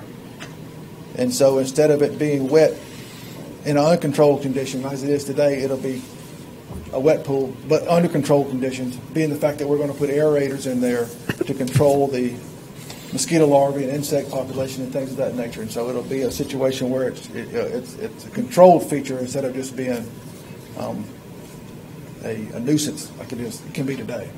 All right. I appreciate everything. One more question. Uh-huh.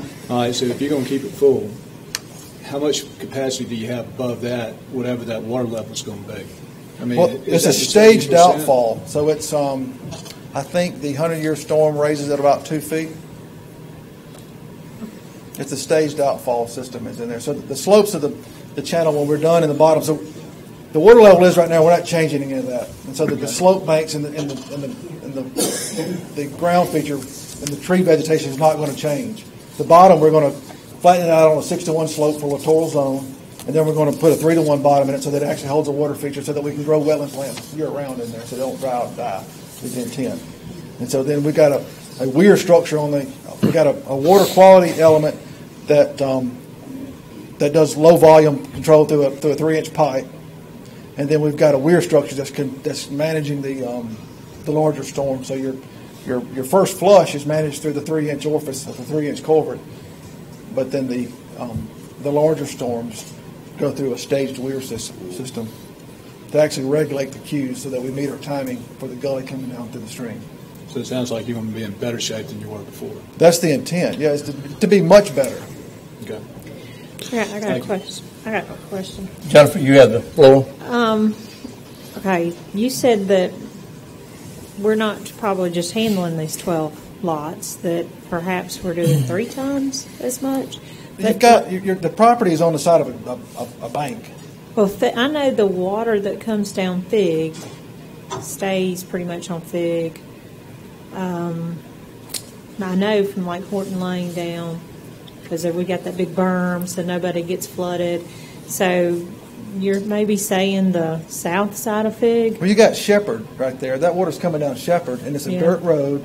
And right now, there's been a Mhm. there's been a, a, a machine that's cut a trench through there that, that's got trem- tremendous amount of sediment that blows down and blows into this feature. And Then it's got another rip that's um, where I want to put the the, the, the step pool conveyance.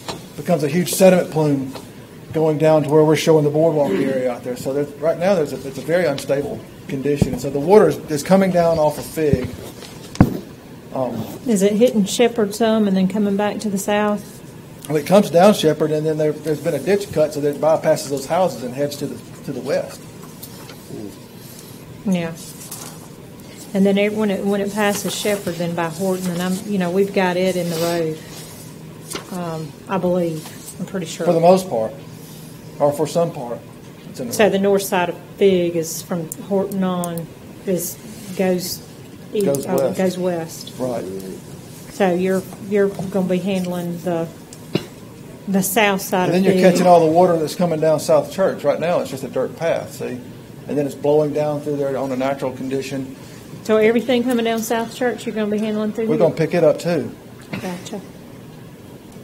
And right now, it's just surface draining to the house on the end of the street. We're going to catch that up with inlets. We got inlet staged up through there to catch that water, so instead of just heading straight down South Church, it's going to actually divert into our water quality feature. Mm-hmm. So the stormwater, I guess the point being, is the stormwater that we're collecting on this project is not just the stormwater for this project. It's stormwater off-site, and it's city's water, and it, you know, it's a lot of people's involvement here. And so this is a project that's looking to try to compilate and relieve a lot of situations that are happening in the area. Trey, I've got a question and a comment. I had a chance to walk the property this morning. It's, it's a beautiful piece of property, real extensive gully system. You said that your proposal would, would improve the stormwater runoff for the gully that's running back down towards the bay. And the other question I had, or a statement, I guess, I would look at this from two different angles. I can't promise that my opinion would be the same as a commission member versus a city council member about this um, retention pond, so I would reserve the right to possibly have a different vote each, each way, but what is the approximate size of that retention pond? Is this down at the base where it's kind of a sandy base and it looks like there's several different runs of the gully that come into that? Is that what y'all are talking about constructing this? It is, um, the limits of it are the limits of the natural feature itself. Okay. And so if you were to walk down Shepherd and then follow the, the, the ditch that's been cut there Mhm. To the west or to the southwest, you'll walk right into it and you'll see it sitting there. It's pretty open, that open It's space. fairly open down to the Yeah. bottom down there. Okay. And that elevation is sitting 10 or 12 feet above the, the overbank of what I'm going to call the actual true gully down there, because the gully itself, or the water feature, the Blue Line Stream, is about 450 feet south of us. Okay. And that's 10 or 12 feet tall in there, and then it's got an overbank, and then it steps up again to where we're talking about putting this feature, and then the street's even higher than that. Okay. I got one more question. Jennifer? Um, the, you and I spoke about this before, so I thought it was clear, but the access that you, that we require, you know, so I can get, the city can access the gully, because we do have stormwater infrastructure through there. The, um, is that, did you set that apart in an easement? I notice it's in a common area, number three, but that's going to be owned by the POA, correct? Right, Well, the POA, the common areas are going to have utility and access easement over that'll be so you set can apart. get through there. And so what we're doing is, you know, so we're putting back the gravel drive, we're putting an apron in there, we're putting some bollards up there so just, so it can be chained and secured. And so that, that element is, is added to this project. It's in the drawings. We've got the easements in there for the pedestrian access and our driveway access for the construction equipment to get down to the stormwater infrastructure. That's what these features are for, is to handle that, to allow for that. All Mr. right. Chairman, I have, Commission- uh, Mr. Clark? I have a, a question, just for clarification. Assuming that we approve this tonight, and as the plan stands now, there will be a detention pond on city property as a, as a part of this project being developed. Does the city council then have to, have to act on this thing before, I- I- if we vote on it tonight and it includes the detention pond, I would think that the fact that it's on city property, the city council at some point in time would have to vote to approve it. Now, th- this, if we decided to make a decision upon it tonight, and if it were to have a motion to approve it, then I would require that the motion contain language saying approval based on the approval of city council, same way we do on a zoning application. Is that right, legal counsel? Yes. Eh, eh, Legal counsel? Yes, sir. Yeah, okay.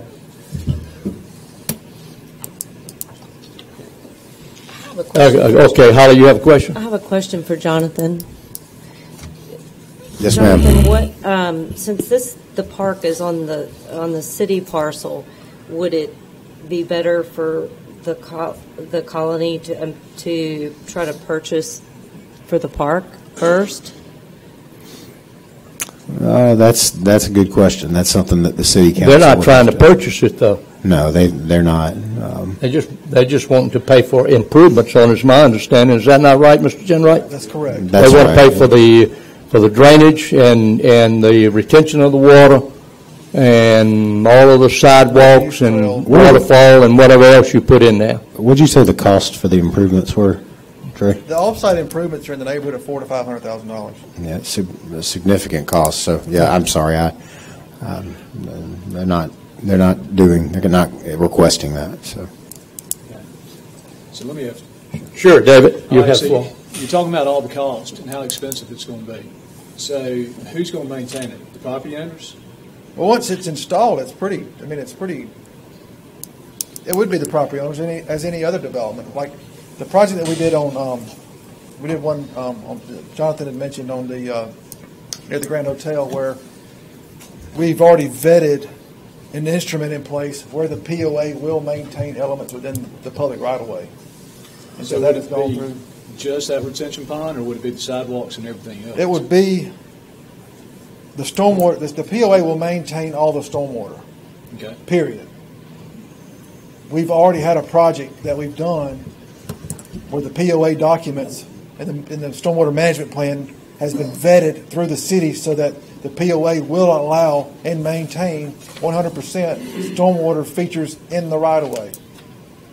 So we've already done that. And So I guess what I'm saying is that the POA will maintain that, these these features here, Including the, the retention pond? in- including that retention pond. And we've done that once already. We just hadn't done it on, we hadn't done it 100% on a separate piece of property, but we have done it into the way that we've, we've done it where the- these bio-retention ponds are in the city right-of-way. So it's similar, but a little bit different. Okay, but the sidewalks are maintained by the city. The- Or The, the the multi-use, we got an eight-foot multi-use trail that's coming through there, and that element right there would be, I would say would be separate. We're looking at only the stormwater, Yeah. the stormwater feature. Yeah, the city would be, I mean, to me, it's All like, you know, gaining. Ms. all- Finley, you have something else? I just, I was making a comment on the sidewalk. I mean, I would say yes, the city would be, you know, if the, so if the city council so desired, uh, to take over maintenance, you know, of that. You know, take over maintenance of that parkland. That's going to have to be a city council decision, um, to, you know, take over maintenance and let them install all that. But it's an amenity, you know, for the public, I would think, in that area. Is there, it would be interesting to have, to be able to separate that parcel, have a separate parcel laid out so that the city, it would not be the city's property. I don't know if that's possible. To maybe take that out, and that way there's no question talking about, about the liability or you talking the, about where the, the city would sell it to the single tax? Or we would do a description where you'd have some sort of legal document that we could put a legal description over that piece and then I don't know about selling, but just, you know, to where we have a legal document that it's, yeah.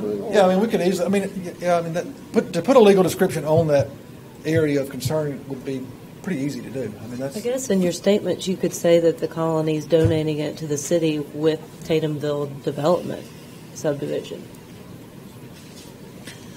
But the city owns this parcel, Right, right? but when But the- it's Tatumville, it's going to be an amenity for Tatumville as well as the, as the citizens of Mhm. Fairhope.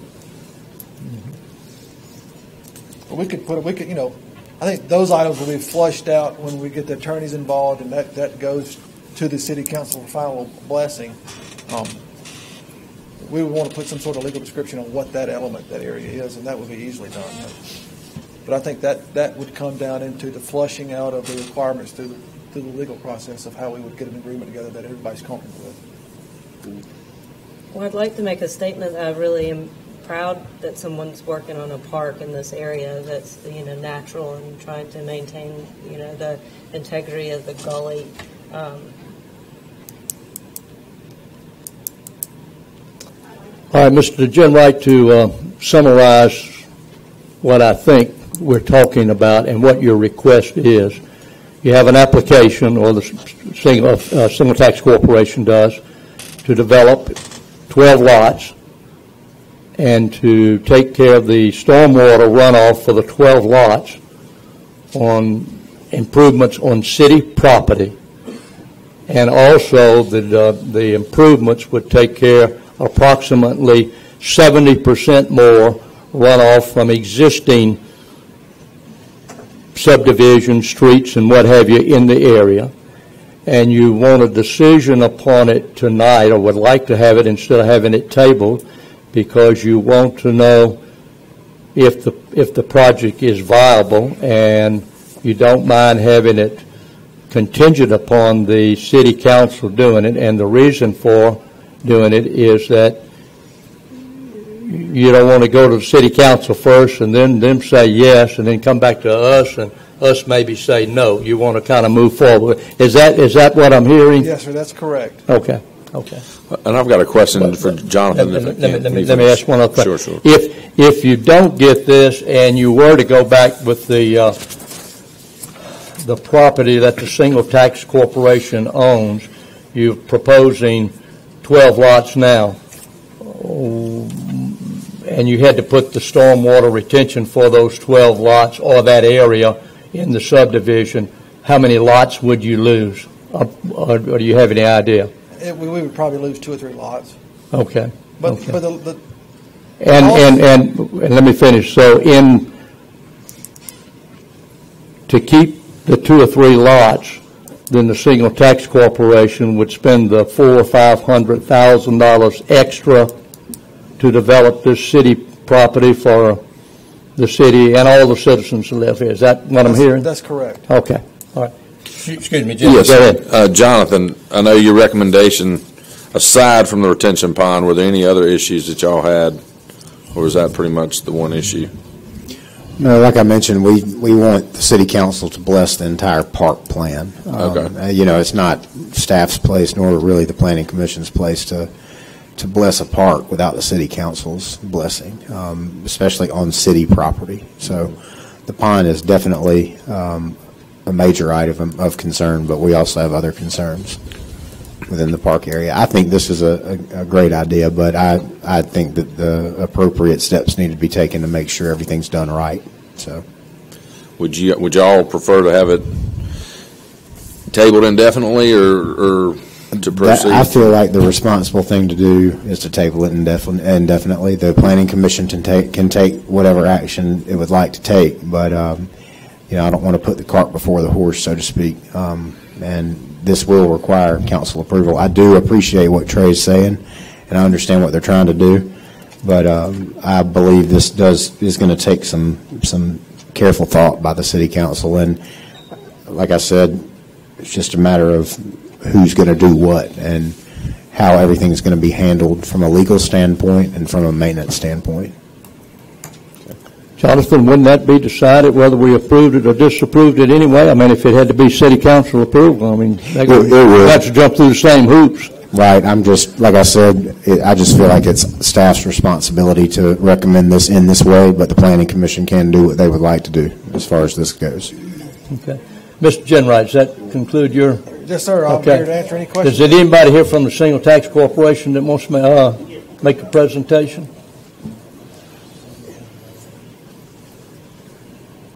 Hello, I'm Michael Upchurch. I'm the treasurer of Fairhope Single Tax. And uh, the first thing I want to say is I know normally there's some natural tension between a developer and the neighborhood. And we, this is a different situation. Fairhope Single Tax has no motive other than to create a model project that will benefit the community. That's, we have no profit motive. We're nonprofit. We put millions and millions and millions of dollars into Fairhope to make it better for all of us uh, as a group. And we're not uh, in the business of being adversarial. We were excited about the opportunity to create a model development and have spent a lot of time and a lot of money trying to do it correctly. And we have the luxury of being able to spend more than a normal developer would because of the nature of who we are. We're very used to working with the city. We do it all the time. Uh, we just gave the city the 200 and some acre nature park. We you know, obviously donated a million dollars to the library, built the museum, and just given a million dollars to Thomas Hospital Neonatal. All we're about is to try to make Fairhope better. So there is no motive here other than a good one to try to create an excellent development for everyone, including the people who live in this neighborhood. Uh, and that, that is very important for everyone to understand, including people who may have questions about the development. We understand that, and we want to work with everyone to make it great for all. Uh, we are not adversarial to anyone. This is our community too. This is our neighborhood too. So that's, as the treasurer, I want to make that clear. We, any money we generate through our lessees goes directly, entirely back into the city of Fair, in the Fairhope community in all of our projects. Uh, and I'm not an expert in subdivisions. I'm not an engineer and can't speak to that, but I can very well speak to what Fairhope Single Tax is about and why we're pursuing this project. So that's what I have to say. Thank you, sir. Mr. Pittman, I know you're on the Single Tax Board. Do you have a comment too? I do, thank you, Commissioner. I'm Cliff Pittman, I'm a director. Uh, It was brought up about the precedent, but you know, the precedent's been set about 25 years ago when they uh, condemned the road, property out on Green Oak Road. corporation went out and bought the property where the soccer field are in Founder's Park. We gave the city 25 acres for the park, and we developed the rest of it into 100 lots, you know, in Founder's Park. Well, when we got into it, the road, I guess is Booth Bishop Road, wasn't going to line up with Founder's Drive going into town, going into the park. There was going to be an offset, so we sat down and met with the city, gave the city an additional, I think, two and a half acres to line the road up, and then they let us put our stormwater detention for the first 50 lots right there in front of the soccer fields. So this is, this is already, this ground's, you know, already been plowed before. Now, granted, we have no problem going back to the council and let's, you know, bring it up again, but I guess that's one reason when this thing came up about doing this, I didn't really think a lot about it since we'd already, like I said, been down this road before. So that's, you know, just, just a little history there. Thank you. Thank you. Is there anyone else here that wants to speak for the applicant? For the applicant? For the applicant? Oh, oh, come, yeah, come forward. Didn't see you back there, Carol. Sorry about that. My name is Carol Saltz. I live at 1090 Fairhope Avenue in Fairhope. I appreciate your time tonight. Fairhope Single Tax is all about Fairhope. And that's, this project is something different. And I certainly don't see why we couldn't set it aside indefinitely and work it out with the city. But our intention here was to do something great, something that brought parks into an area that needed it, that brought a walkway. So I would ask you tonight, if you so choose, to um, approve it to go back to the city, but I certainly understand how you feel. And um, there are other people here that are downline that would like to see us do this because we would help their drainage problem. So consider it, but I certainly don't want to overstep our bounds as far as legalities are concerned. So um, I appreciate your time in listening to this. This is a great plan, and it would be great for that community and for our whole community. Thank you. Thank you. Is there anyone else on the single tax board representing the applicant? All right, let's open the public hearing portion of the application. Uh, I have a list of folks here. Uh, Mary, you're not on it, but do you want to speak first? You? I said the mayor. I just wanted to state that, um, yes, I do want to partner with the Fairhope Single Tax on a lot of great projects, and I can think of a lot of uh, great projects that we can do. I just feel like this one, I don't think has been thought through on, on every level because I do believe this gully at the bottom of this development is is critical to runoff, and it has blown out the apartment complex already across the street from this development, the part that looks like the Hoover Dam, and this does need to be looked into.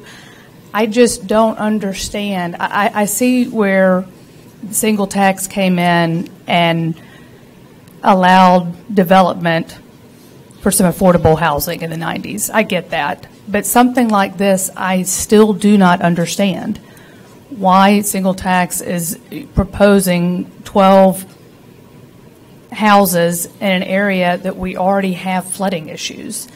Not to mention that on this street, we've had 21 cases of sewer. Is that what it is? Sewer overflow? I mean, has, I don't know if that's been talked about at all or if anybody knew about that. This is on Fig Street. Um, there's a lot to talk about. The, uh, the residential area needs to be engaged more, like all development, but particularly in this situation because if we are if Fairhope single tax truly is here for the citizens of Fairhope, I just don't see how 12 houses being built right here is, is going to be good for the, all of the citizens. It just doesn't make sense to me.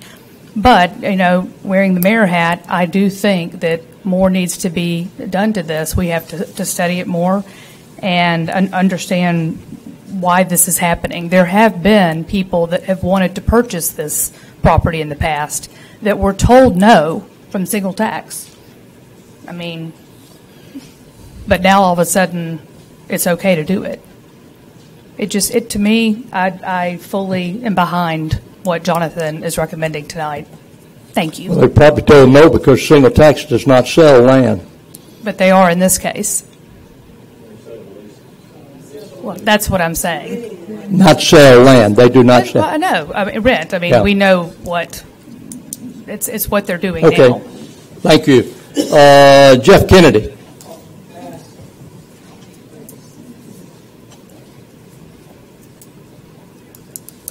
Fritz Ingram.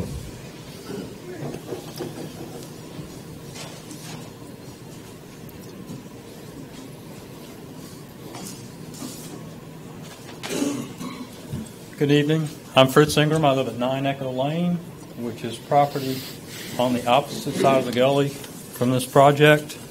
Uh, If you look out my den, you will look directly into the drainage culvert that is going to be covered by the crushed stone. Uh, I've got a lot of issues with this. I was on the property over the weekend. I'm a 13-year resident of Echo Lane. I've spent countless hours traipsing up and down that with my children. I've seen some horrendous damage that's been done because of the flood water. If you walk this property and you look where Payne Drive is, that, all that property from Payne Drive to Fig Drive is up on a step. There's anywhere from just a gradual slope to a 30-foot drop-off down into the pan of this gully. Uh, There's constant erosion there. There's not going to be where to stop it. The culvert that I look at outside of my den was rebuilt years ago because the gully scoured back about 35 feet and dropped the original drainage culvert into the gully. When the city came in and reconfigured that culvert, they came down the side of the gully with equipment between two large pine trees, gutted that down about three feet below the level of the root ball of the pine trees, came in the gully, set riprap around that culvert, came back up the gully, and never did anything to stop the erosion where they came in. Consequently, there's a six-foot drop from the base of those pine trees down into the gully. The gully has filled about three feet deep with sand in that area. The pitiful screen that was put up there disappeared two days after it was put in place. A little bit further down that gully, on my property line, adjoining, I'm at 9 Echo Lane, at 7 Echo Lane, there's a gully that runs down beside your house that runs out. There was $35,000 worth of riprap put in there. It has been unsuccessful. The little ridge behind 7 has crumbled off about 10 to 15 feet since that has been done. It's redirected the flow. There's more scouring every day. Uh, you know, today is just who knows what happened today while I was gone. As I've been in that gully for years and years, I think I've walked that once with you, Jennifer. We went down to Liberty. There used to be a combination slab and culvert at the end of Liberty that was 20 feet long. That entire culvert has been undercut and collapsed. So you know, there are serious issues with the stormwater in this gully that have not been addressed. To my knowledge, there's been $175,000 worth of riprap put in that gully between my house and Southern Run, including back up where you see that gray swale up there. And the gully continues to collapse. It is a very unstable soil. It's very sandy. You also, if you go in there enough, you'll see there are pockets of the gray clay, which is probably the exact same clay that was up in Spanish Fort where the bluff collapsed. That's just the geology of this area. That's also unstable. There's water pooled in the gully all the time because of the clay. We have a mosquito problem. Uh, This retention pond, I don't know what's going to happen there. And frankly, I don't care about what's going on there because of the problems we're having in our gully. The other thing you'll see in this area is this is one of the last remaining stands of some of the old growth pine. The developer has gone in there and wrapped on lots 8, 9, 10, 11, and 12. And have thankfully, y'all gone in there and marked the biggest pine trees. Well, are those pine trees marked to stay there? Or if a home is going to be in that area, will it be destroyed? You know, there's a huge pine tree in the areas of lot two and three that's probably four and a half feet diameter. Will it be destroyed? You know, this is the city area. What are we going to do for the city? You've got, you're saying this is going to be a park. This is a public park. Where is the parking for the public? Where will they walk? This is, you know, like I said, I've, I've traipsed this area for years, and it just, it breaks my heart that we weren't even, you know, we just found out about this last week. We're on the other side of the gully. We look at this every day, and the city didn't seem fit to let us know what's going on. We just found out from a friend of ours. Uh, I think, as Jonathan says, this needs to be tabled. There's a lot of work that needs to be done. There's a lot more study that needs to be done on this gully. We just, uh, you know, I, I just can't get a handle on why this has to be done. We've had problems with people in the gully before. Yes, this will limit some of it. There are four wheelers in there all the time. Where's the city's access going to be to come in here to rebuild this gully, to repair it? The gully has been accessed up until this time down Chinkapin Street, and there's a plateau there that they've driven off in, and then come off in that sand pit. And I challenge anyone to find gravel in that sand pit. It's gravel and trash. You know, there, there's sand. The only solid thing they're finding there is all the glass that's in the gully from residents in years past dumping in that gully. So I think the development, the housing area may be fine with the exception of destroying the pines that are in there. And what's going to stop that once the homeowners get in? Because the first thing we do around here is chop down pine trees because everybody's afraid they're going to fall in their house.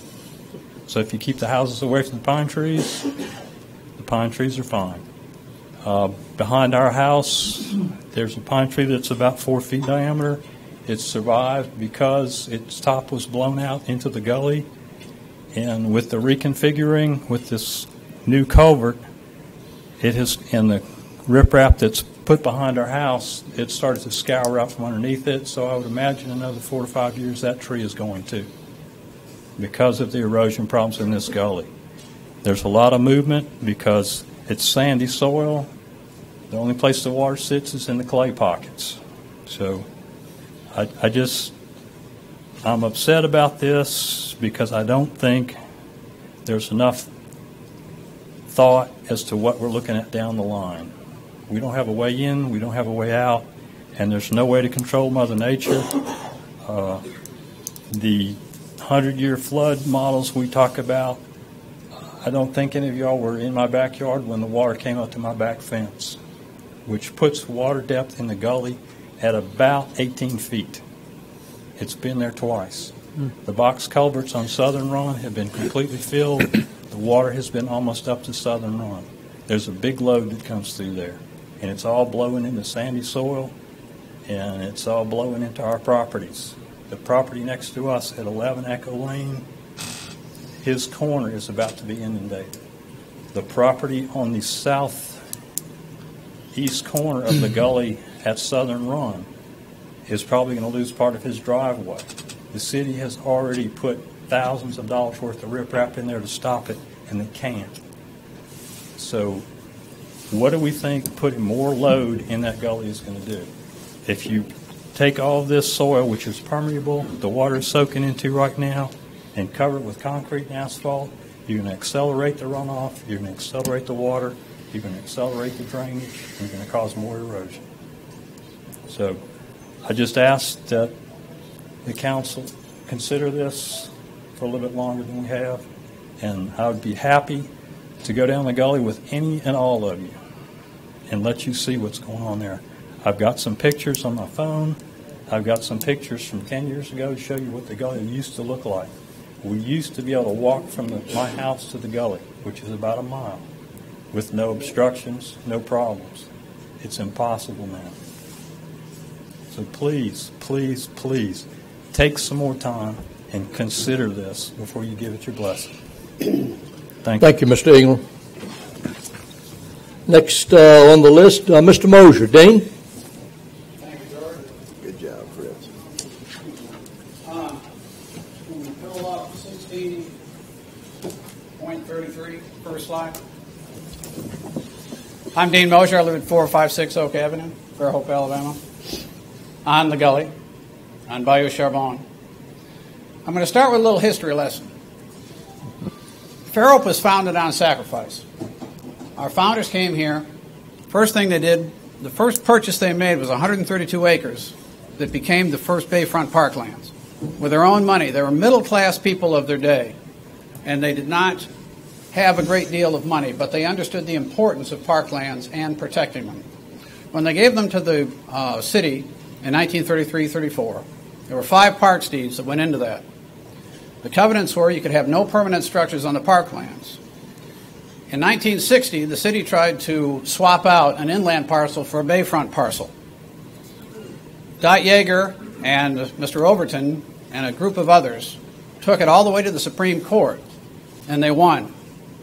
Otherwise, our entire bayfront would be covered with McDonald's and Holiday Inns and the rest of it. You've got to have a balance on things like this. Now, your watershed parklands, and there's Bayou Charbon, Sparks, uh, Tatumville, Stacks Gully. These are hundreds of acres of protected wetlands that were not set aside necessarily to be parks because none of them are parks. What they were set aside for specifically was protection as watershed management areas. There's a great deal of fall that goes through there. These gullies were created because rapacious loggers came in here in the latter part of the 19th century and they logged the whole place over and just left. They didn't replant or anything. There was a joke in Fairhope. You could stand on a tree stump in Fairhope and see all the way to Spanish Fort because there weren't any trees left. That's why our founders got the land so cheap. And all around this land in Fairhope were these burned out, I mean, gouged out erosion gullies. So they set them aside. They didn't have an awful lot of money, but they still understood the importance. We have one of the oldest watershed management uh, agreements in the world. And whenever it's been violated, and whenever anybody goes into them, quite often they've screwed them up. When you leave them alone, it's like Teddy Roosevelt said leave them as they are. The hand of man can only mar them. Now, in the case of Bayou Charbon, 10 years ago I led an initiative with the Single Tax Corporation. I've been an officer for almost 19 years of the last 30 that I've been a member. I helped bring the initiative to put 10 additional acres into the parks, the wetland system. About seven and a half acres at the base of Bayou Charbon and about two, almost double the size of Stacks Gully going down to the bay. So I know about parklands. I was on the board when we did Founders Park and when we did Colony Place. There's about a 20 foot fall on the entire distance of Colony Place. To give you a perspective of this land, stand on the edge of Henry George Bluff and look down to the fountain. That's how far this land falls. It's 65 feet from. Can I have the next slide, please? No, that's not the next slide. Go back. One more. There we go. If you go from the dotted line that single tax land from Fig, uh, uh, Fig down to the bottom of that gorge down there, it's 65 feet that falls in a very short period of time. Now, what happens? Now, if you strip the veneer off this, The FSTC is acting as a developer. They're representing themselves as a developer in this project. They're asking to use city property to retain the water coming off their property. And though I really like a lot of what Trey has to say, this is just too unstable an area to consider that much impermeable surface. And I really don't know how the road is going to be buttressed up right there. There's a huge fall about in the center of that road as it goes across. That's going to require a tremendous amount of work. But with that, we also have people, the sewage situation down there is so bad that people have had sewage blow back into their houses and actually destroy their ceilings. That's right, Larry Cromwell? And you've, you've put 21 instances of this have come forward. The city is under lawsuit right now. And when you call and ask them, how come this sewage is, can you imagine standing at your kitchen sink and having sewage all over your uh, ceiling? City's gone in there and replaced sheetrock, flooring, cleaned out under houses, all kinds of things. What's causing this? What are our utility substructures that are dealing with this area? And we're about to add an- another large development to it without even looking into it. And because they're under suit, they don't know. The mayor didn't even know about it. And you'd think there'd be somewhat of a free flow of information, because we all know what runs downhill, don't we? But with that, in fact, oh well, I won't go into the uh, the problems with that given area. But what we're talking about is building. Do you have the slide that they sent over 16-33? I had several very good slides. That's not it. That's not it. There. Okay, as we're looking at the topo on there, that's a single tax land in the light green, and the orange area represents the gully that's there. About midway down, towards the bottom, there's only about a 15 foot rise between the floodplain of the gully and where the retention pond is going to be. Now, how high did you say you have seen? Okay, so that would completely inundate the a flood like that. And we're talking about 100 year floods. I've had three 500 year floods since I've been in Fairhope. So I'm not really quite sure how you gauge that, but we're going to have more. And when you also have what is the city doing, taking, undertaking the liability of a retention pond? Now, you're going to have to put a fence around that thing because it's going to exceed the depth for safety. When you're talking about enjoying the waterfall, if for a 100 year flood you're keeping the waterfall two feet below the top of the weir to be able to overflow, the only time you're ever going to enjoy the waterfall is if you're down in the bottom of the gully, and it doesn't sound like it's a very safe place to be when there's a rain. So you've got a lot of issues here that you haven't even begun to consider that are incredibly important.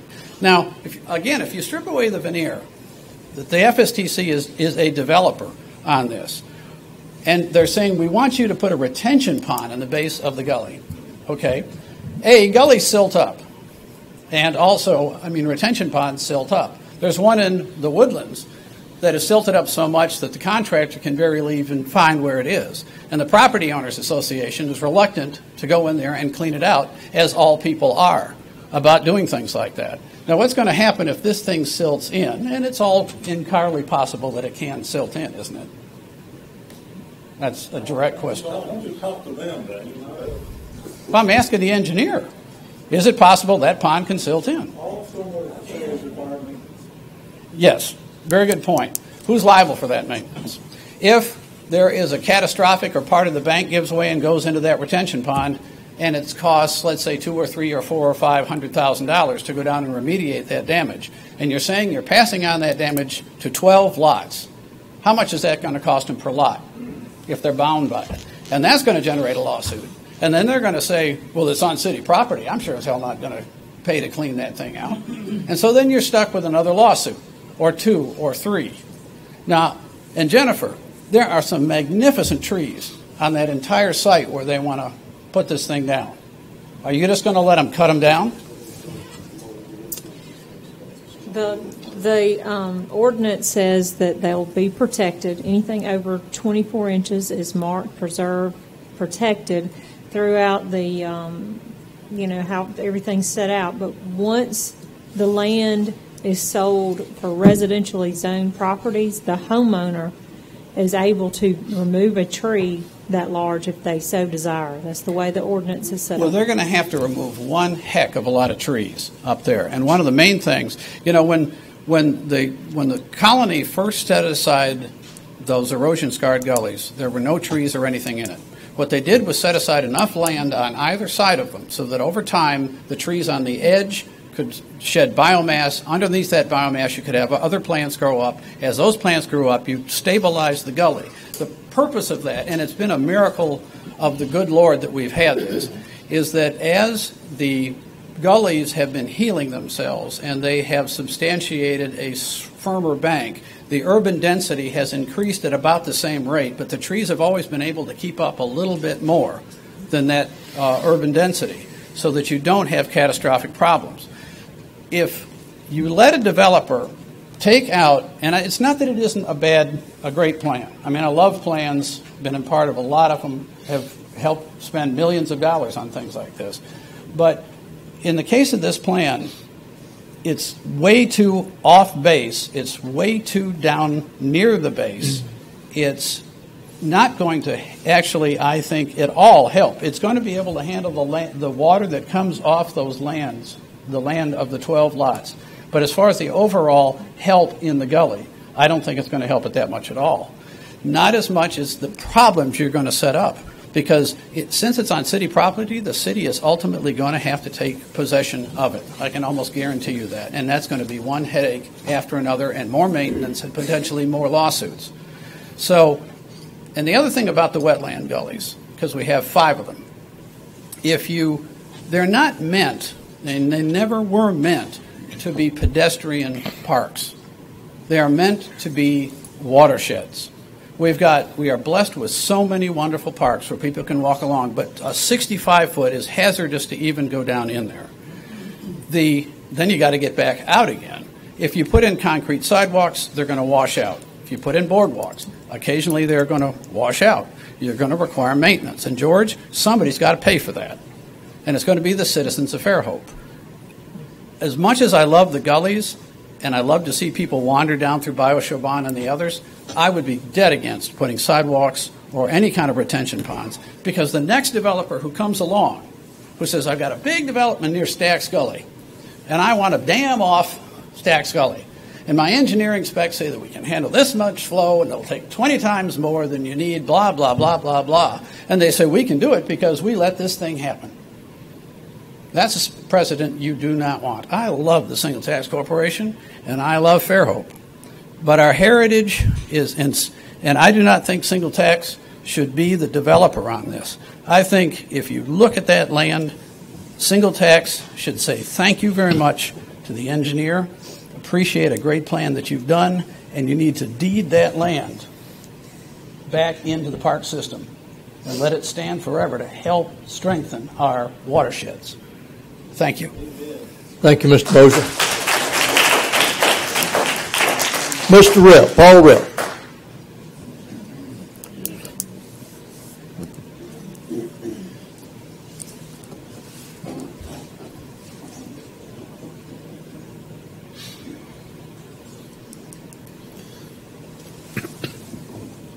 Paul Rip, 22985 High Ridge Road. Guess the first thing I got to say is that I respect Mr. Turner recusing himself, but I'm a bit confused, Mr. Robards, by you staying because you're doing work for single tax, you do the sidewalks, and you do work for the city. I think that's a conflict of interest. Uh, notification. I, I don't know how many towns I've lived in and how many times I've been before this board through the years where notification comes up. I went down there today. If you see where they put those signs, how in the world the people in the neighborhood finds out what's going on? I don't know. Now, you will always get, we do, it's legal, we gave legal notice. And something like this, legal notice should be the whole community in that area, not just 300 feet because that's what they have is 300 feet. I believe that's right. Huh? Adjacent property. Well, that wouldn't cover everybody that's on the other side. That's certainly being impacted by what this gentleman said here. I think you should listen to the recommendation of Jonathan. I hope that you'll do that. I think approving it and then kicking it over to the council, that's not right. That's what you're here for. You're here to make a decision, not just to kick it up to them and then it get to them and say, oh, well, it's already here. No, it should be turned down here. As far as parkland goes, you know, we got a $12 million park there in the triangle, and we ain't even cutting that grass. Thank you, Mr. Rip. Uh, Cheryl Rooker?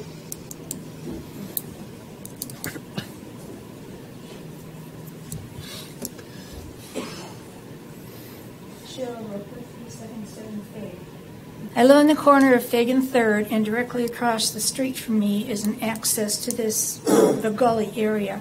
And there was. Ms. Rooker, would you bring that mic down to you? Yes. There you go. Thank you. I live uh, on the corner of Fig and Third, and directly across the street from me is an access to the gully area. That area has been used as a wildlife preserve. There's bobtail cats in there. There's all kinds of wildlife that live in that area and have forever. That's their home. The other part that I'd like to mention is, is that so far nobody's mentioned the amount of traffic that's on Fig. Fig Street is the only through access street from Mobile Street up to Section Street. And people travel that street very, very heavily. All of the first responders put their lights on their cars and they go through there about 50 miles an hour to fires and, and ambulance runs. But also, everybody who wants to come off South Mobile down there comes up Fig and around. So it's a very, very heavily trafficked street. And to add 12 more homes to that area with no access except on Fig on either side is not going to improve that situation at all. So I think the, the impact on the wildlife and the impact on us residents who live there in the area needs to be at least considered in this project. Thank you. Thank you, Ms. Rooker. Uh, next, we have uh, Brenda Jemison. Is that right? Yes, sir. Okay.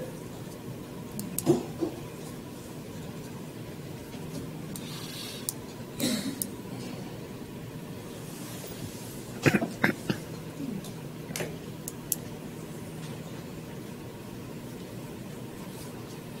live on 604 South Church Street. I have a lot of, uh, everybody has said things that is really beneficial. One thing is that we've been down there since 1959. We live at the bottom of, everybody calls the dirt road. Ms. Jemison, step up Well, to the it's, mic. it's Thank not you. really a dirt road. It's our home, and we've been there a long time. My grandfather had that. He was the um, he had the taxi at the city of Fairhope back in the '70s, the '60s, and the '70s. So you know, Grandpapa's been around a long time. We are native. Britons and Cumberlanders have been here for a while, and you know. They have to stop and think of everything that's going to impact that. I'm not saying that it's bad what they're wanting to do, but I'm with everybody else because the gully is basically going away. It's washing away. You can see it all the time. We used to have streams that would run through there. I was a kid, I played in it. You know, we had, there's a lot that's going to go on with this. And I can understand where the city is coming from and what they want to do with that, but I don't think it's going to be beneficial. You know, you're taking away a lot. You're taking away trees, you're taking away animals, you're taking away a lot that's just going to wash it. It's just going to wash, it's going to keep on washing, and it's not going to go anywhere because the trees are what's making it stand. There's a piece of property right there beside me that nobody will buy. My grandmother sold it many years ago, and nobody wants it because you can't develop it. You know, what are you going to do with it? You can't wash us away, and that's what's going to happen.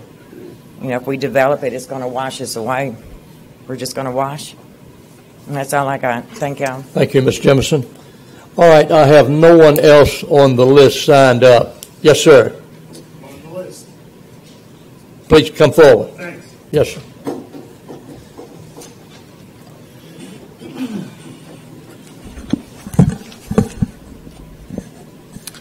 Dave Rodvin, 252 Fig.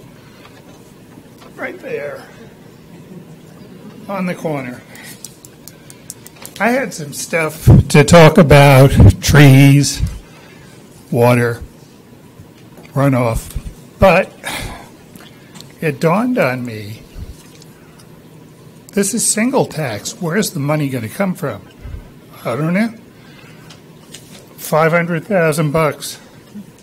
Engineering project. Well, wait a minute. Overruns? They never happen, right?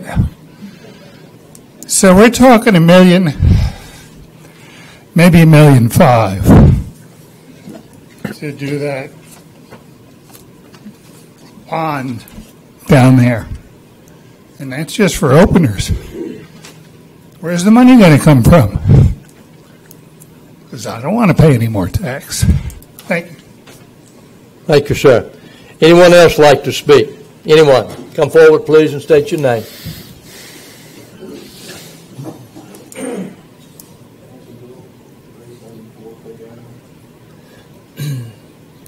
Name's Hamilton. I live at 374 Fig Avenue, uh, right next to where they'll be trying to put an entrance there. And I guess my main concern, other than the traffic and the trees and the water, is uh, if they have, as they said, an unlimited budget, why don't they just make it to into a park? Why do they need 12 houses in there? So, I don't think anybody would be opposed to making a park. So why, if you have an unlimited budget, why not just make a park? Thank you, sir. Anyone else? Anyone else? No more, no more talking after it's closed. Anyone else? Public hearing portion, applications closed. Commission members, all have heard the information. Recommendation by uh, planning director. You've heard the information from the uh, engineer. What's your pleasure?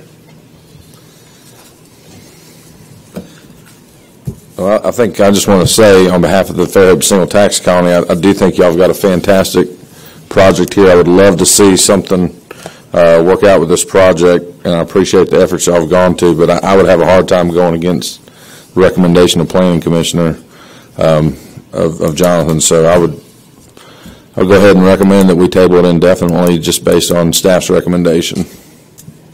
All right, uh, have a motion to table it indefinitely upon staff's recommendation. Do I have a second on the motion? I'll second that motion. All right, before we get into the discussion about the motion, legal counsel, can we table it indefinitely or 30 days? The applicant agrees it can be tabled Well, Jonathan, you said before the applicant did not agree to t- table, is that right? I, I said I don't know if they will, but Okay. we would recommend that they do. Okay. And, and the, the alternative to that is Yeah. denial of the Do y'all agree don't- to table it No. indefinitely and still until the next meeting?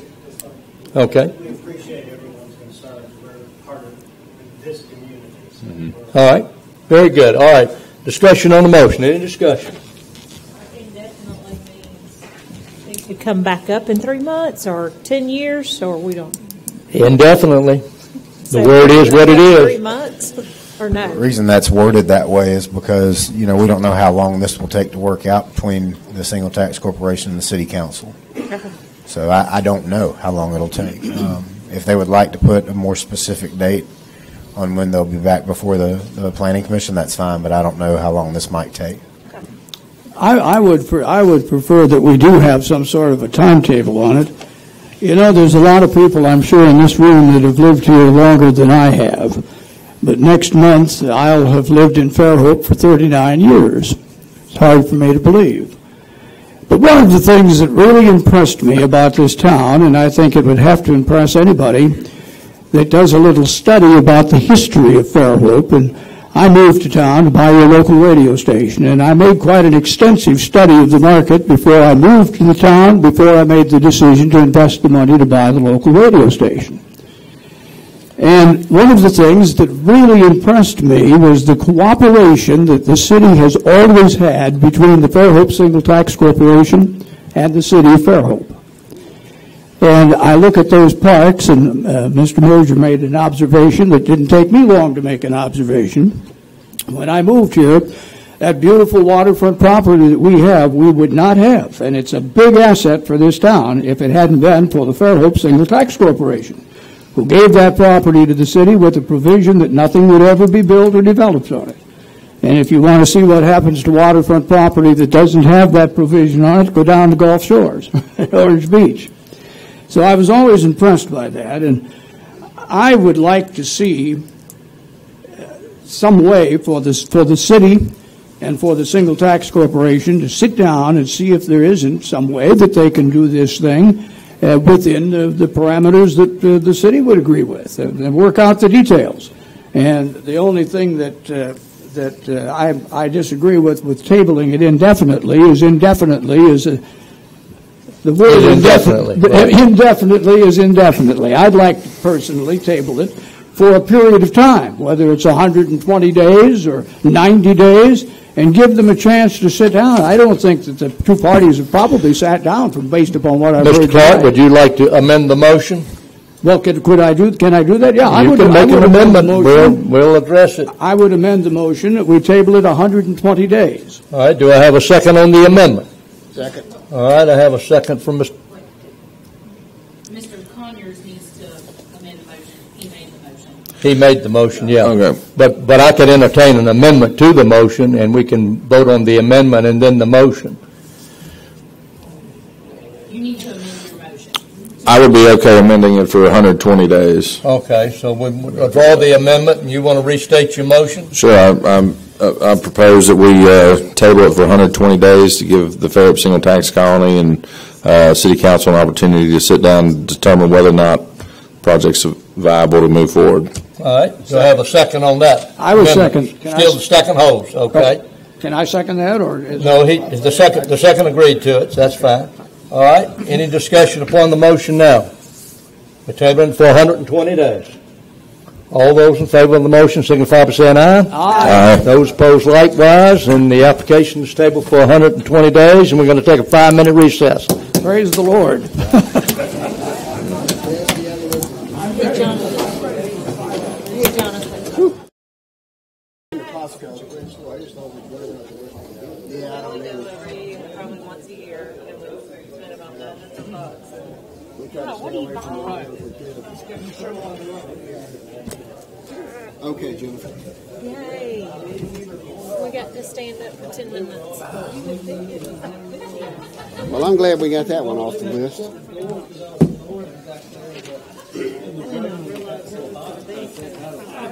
I didn't mean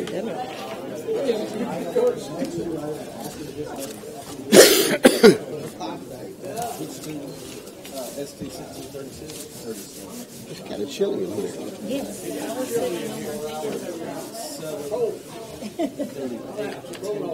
over Improve my circulation.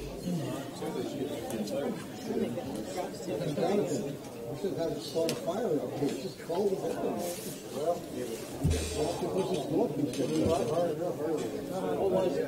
know what? We got a couple of these things right here that we're going to pull because they've been tabled. I think we're getting. No, we are not. No, we're not. We have a couple of these that have been tabled. Which ones are they? I don't remember. Here we go. They go through an awful lot of Ready for this. Congratulations on your Again. All right, I'll go ahead and we'll uh, reconvene the meeting. Uh, The next item on the agenda is SD 1636, a public hearing to request, uh, to consider the request of Dewberry Preble Rish for a plat approval of Bill's Number Two subdivision, a three-lot minor subdivision on Lawrence Road. Thank you. Um, The is unzoned in Baldwin County. The Total site area is around 316.93 acres. Three lots are proposed. Largest lot in the phase of the development is approximately 263 acres. The smallest lot is 22 acres. Um, The proj- project is located on the southwest corner of the intersection of Highway 104 and Lawrence Road.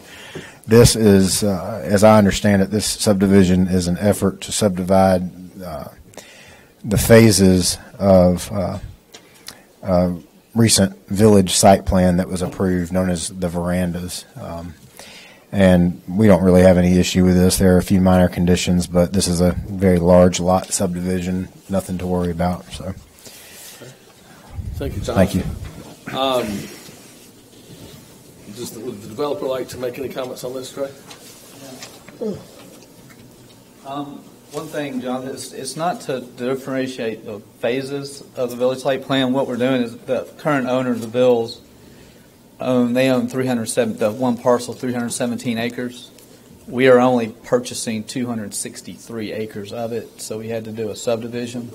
So what we're doing this, this is setting us up so we can buy lot one, which is the 263 acres, which is the, um, wh- wh- which is. what you brought last meeting. Correct. last sir. Yeah, and then the only reason the lots two and three are there is the current owners wanted to just divide those up into two different parcels uh, because of the wetlands that run north and south, so we put a, a property line there so they could actually sell off down the road two separate parcels without having to come back to y'all and re-subdivide again. Currently, it's all farmland. They grew peanuts this summer, and Match line C, match line D. That- that's all to get it on a hundred, one inch to one hundred scale. That's the scale, okay. That, but that's the subdivision plat Threw me there. off a little bit. At first, I was thinking those were lines, and it took me. No, y'all's regulations require it to be at a certain scale, so we had to cut it up into. I knew that it was some effort to make their deal happen there at the verandas. so. There is one item, there's two, there's two things. One question is, maybe it's by definition of a minor subdivision. I just wanted to make sure that this, we are getting preliminary and final plat approval. Yes. Yeah, Yes. okay. That's correct. And then the other item is, um, Jonathan, on y'all's conditions number four under staff rec- recommendation, the first three are fine. We'll put all those notes on there, everything we need to do. Um, but on number four, the special note with regards to the donation of the wetlands for preservation should be labeled on the plat. I'm not quite sure that because we, in the next item on the agenda is our phase one, which actually breaks our wetlands out as a separate lot. So we can make it common area or give it to the city or whoever, you know, the wetlands. But it's not broken out on this plat. And also, um, so I'm not, I guess my question is, what, what did, what am I supposed I to do? think it would be okay if you went, when when you go through the next, when you go, actually go through your first phase of, the, of development, which you've requested it to be tabled until next month. That's right. I believe that would be an appropriate time to, uh, to deal with the wetlands. Um, I don't know that it's necessary in this You don't have a problem minor. Number four in this. I don't, no. Okay. If we can remove number four, then I don't have any more That'll questions. be addressed next Yeah, month. yeah. All right, this is a public hearing. Would anybody from the public like to speak to this? Yes, sir. If you'll come up and, and say, Right, sir, sir, you need to come up and, Nobody can hear you. It seems like I'm moving in a place where it's going to be highly developed. But I don't recognize on that plat, you not blind and get too old. Yes, sir. Where's one, where's Highway one oh four on that, on that, uh, small chart?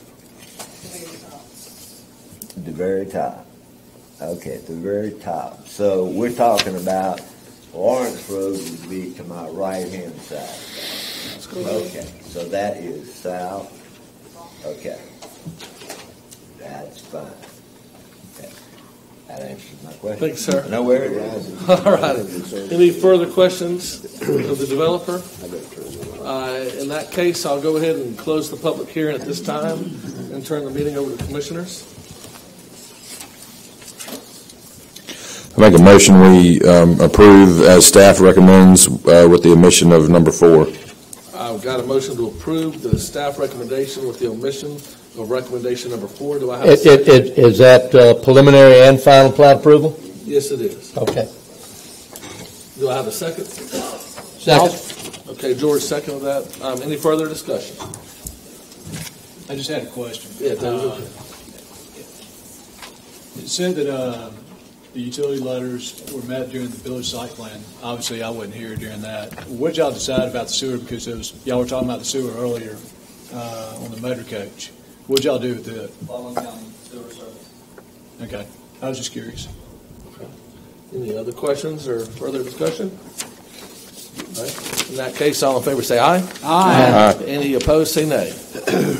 Uh, Motion passes unanimously. The next two items have requested to be tabled until next month, taking us down to SD 1640, the last uh, regular agenda item before old and new business.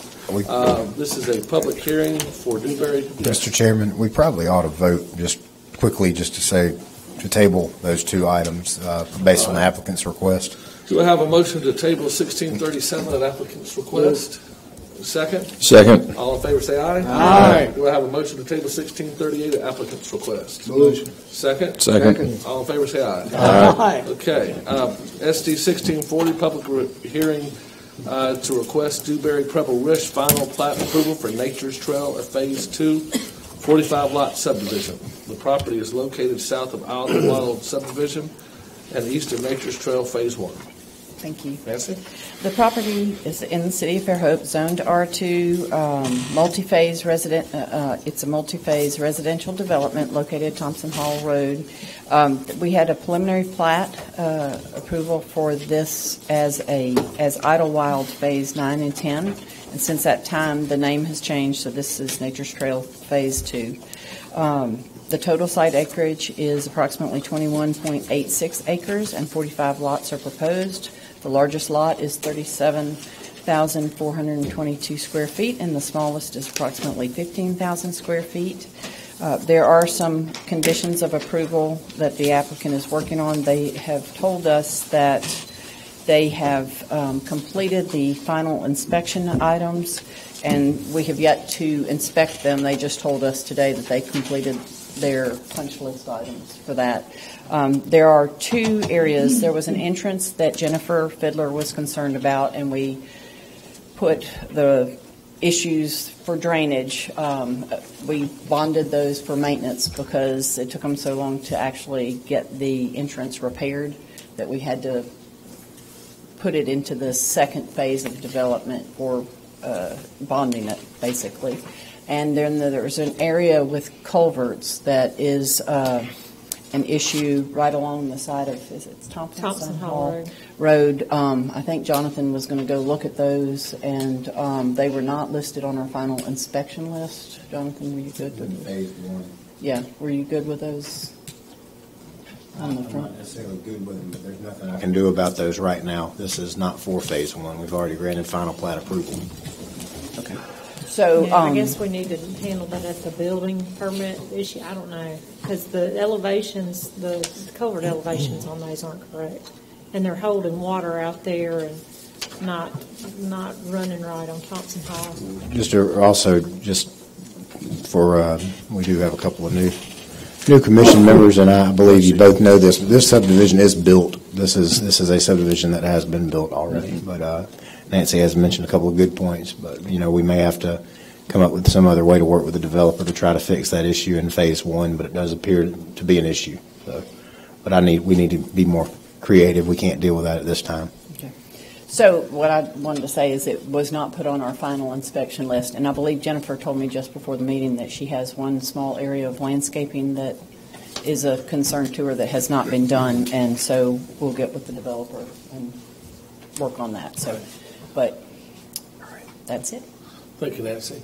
Um, Before I call the developer up, this is a public hearing, so I'll see if anybody from the public wishes to speak first, since this is a final plat, and then the developer can come up once and for all, and we can ask all questions. Does anybody wish to speak to this item?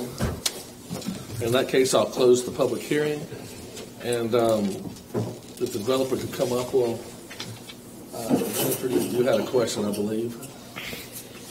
Yeah, go ahead.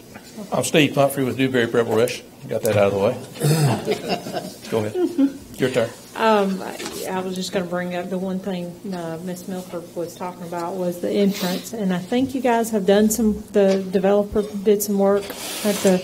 This was the entrance into Nature's Trail Phase One. That's correct.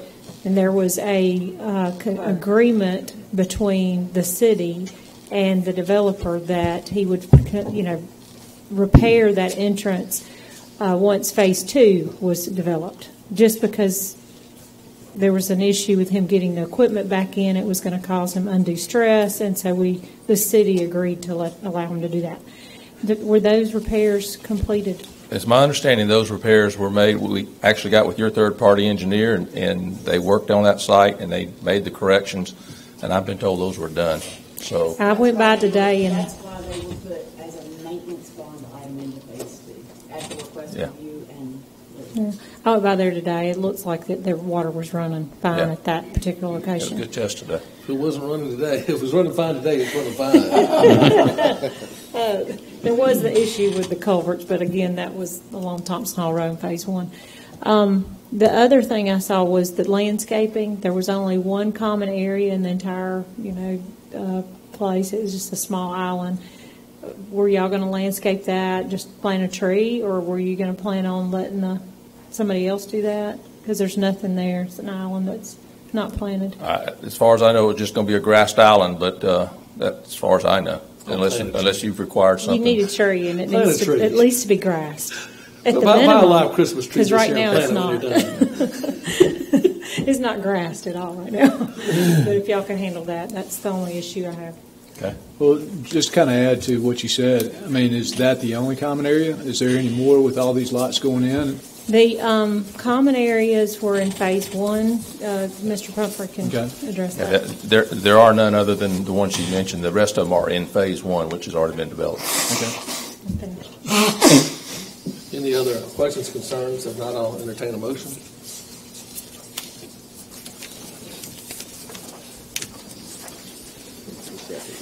I'll make a motion to, uh, to accept this with staff's recommendation. I've got a motion to accept the staff recommendation. Do I have a second? Second. Uh, Any further?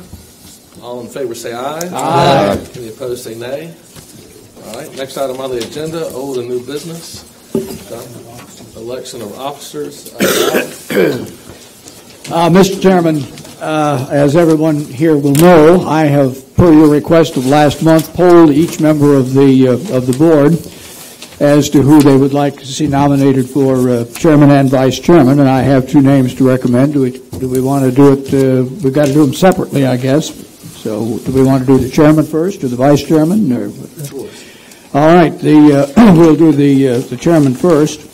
Uh, The, the majority, well, all of the, all of the members of the board told me that they were very happy with the job you were doing and would like to see you nominated again for reelection as chairman. So I would nominate as chairman of the nominating committee for reelection as chairman of the Planning and Zoning Board, Lee Turner.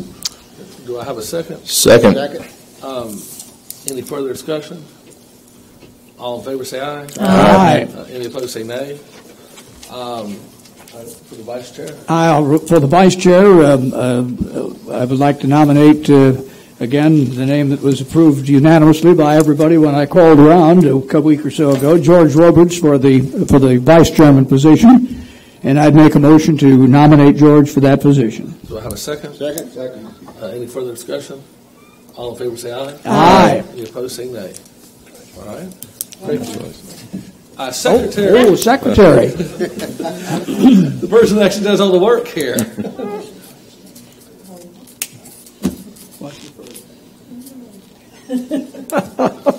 I've still got you by your bank name.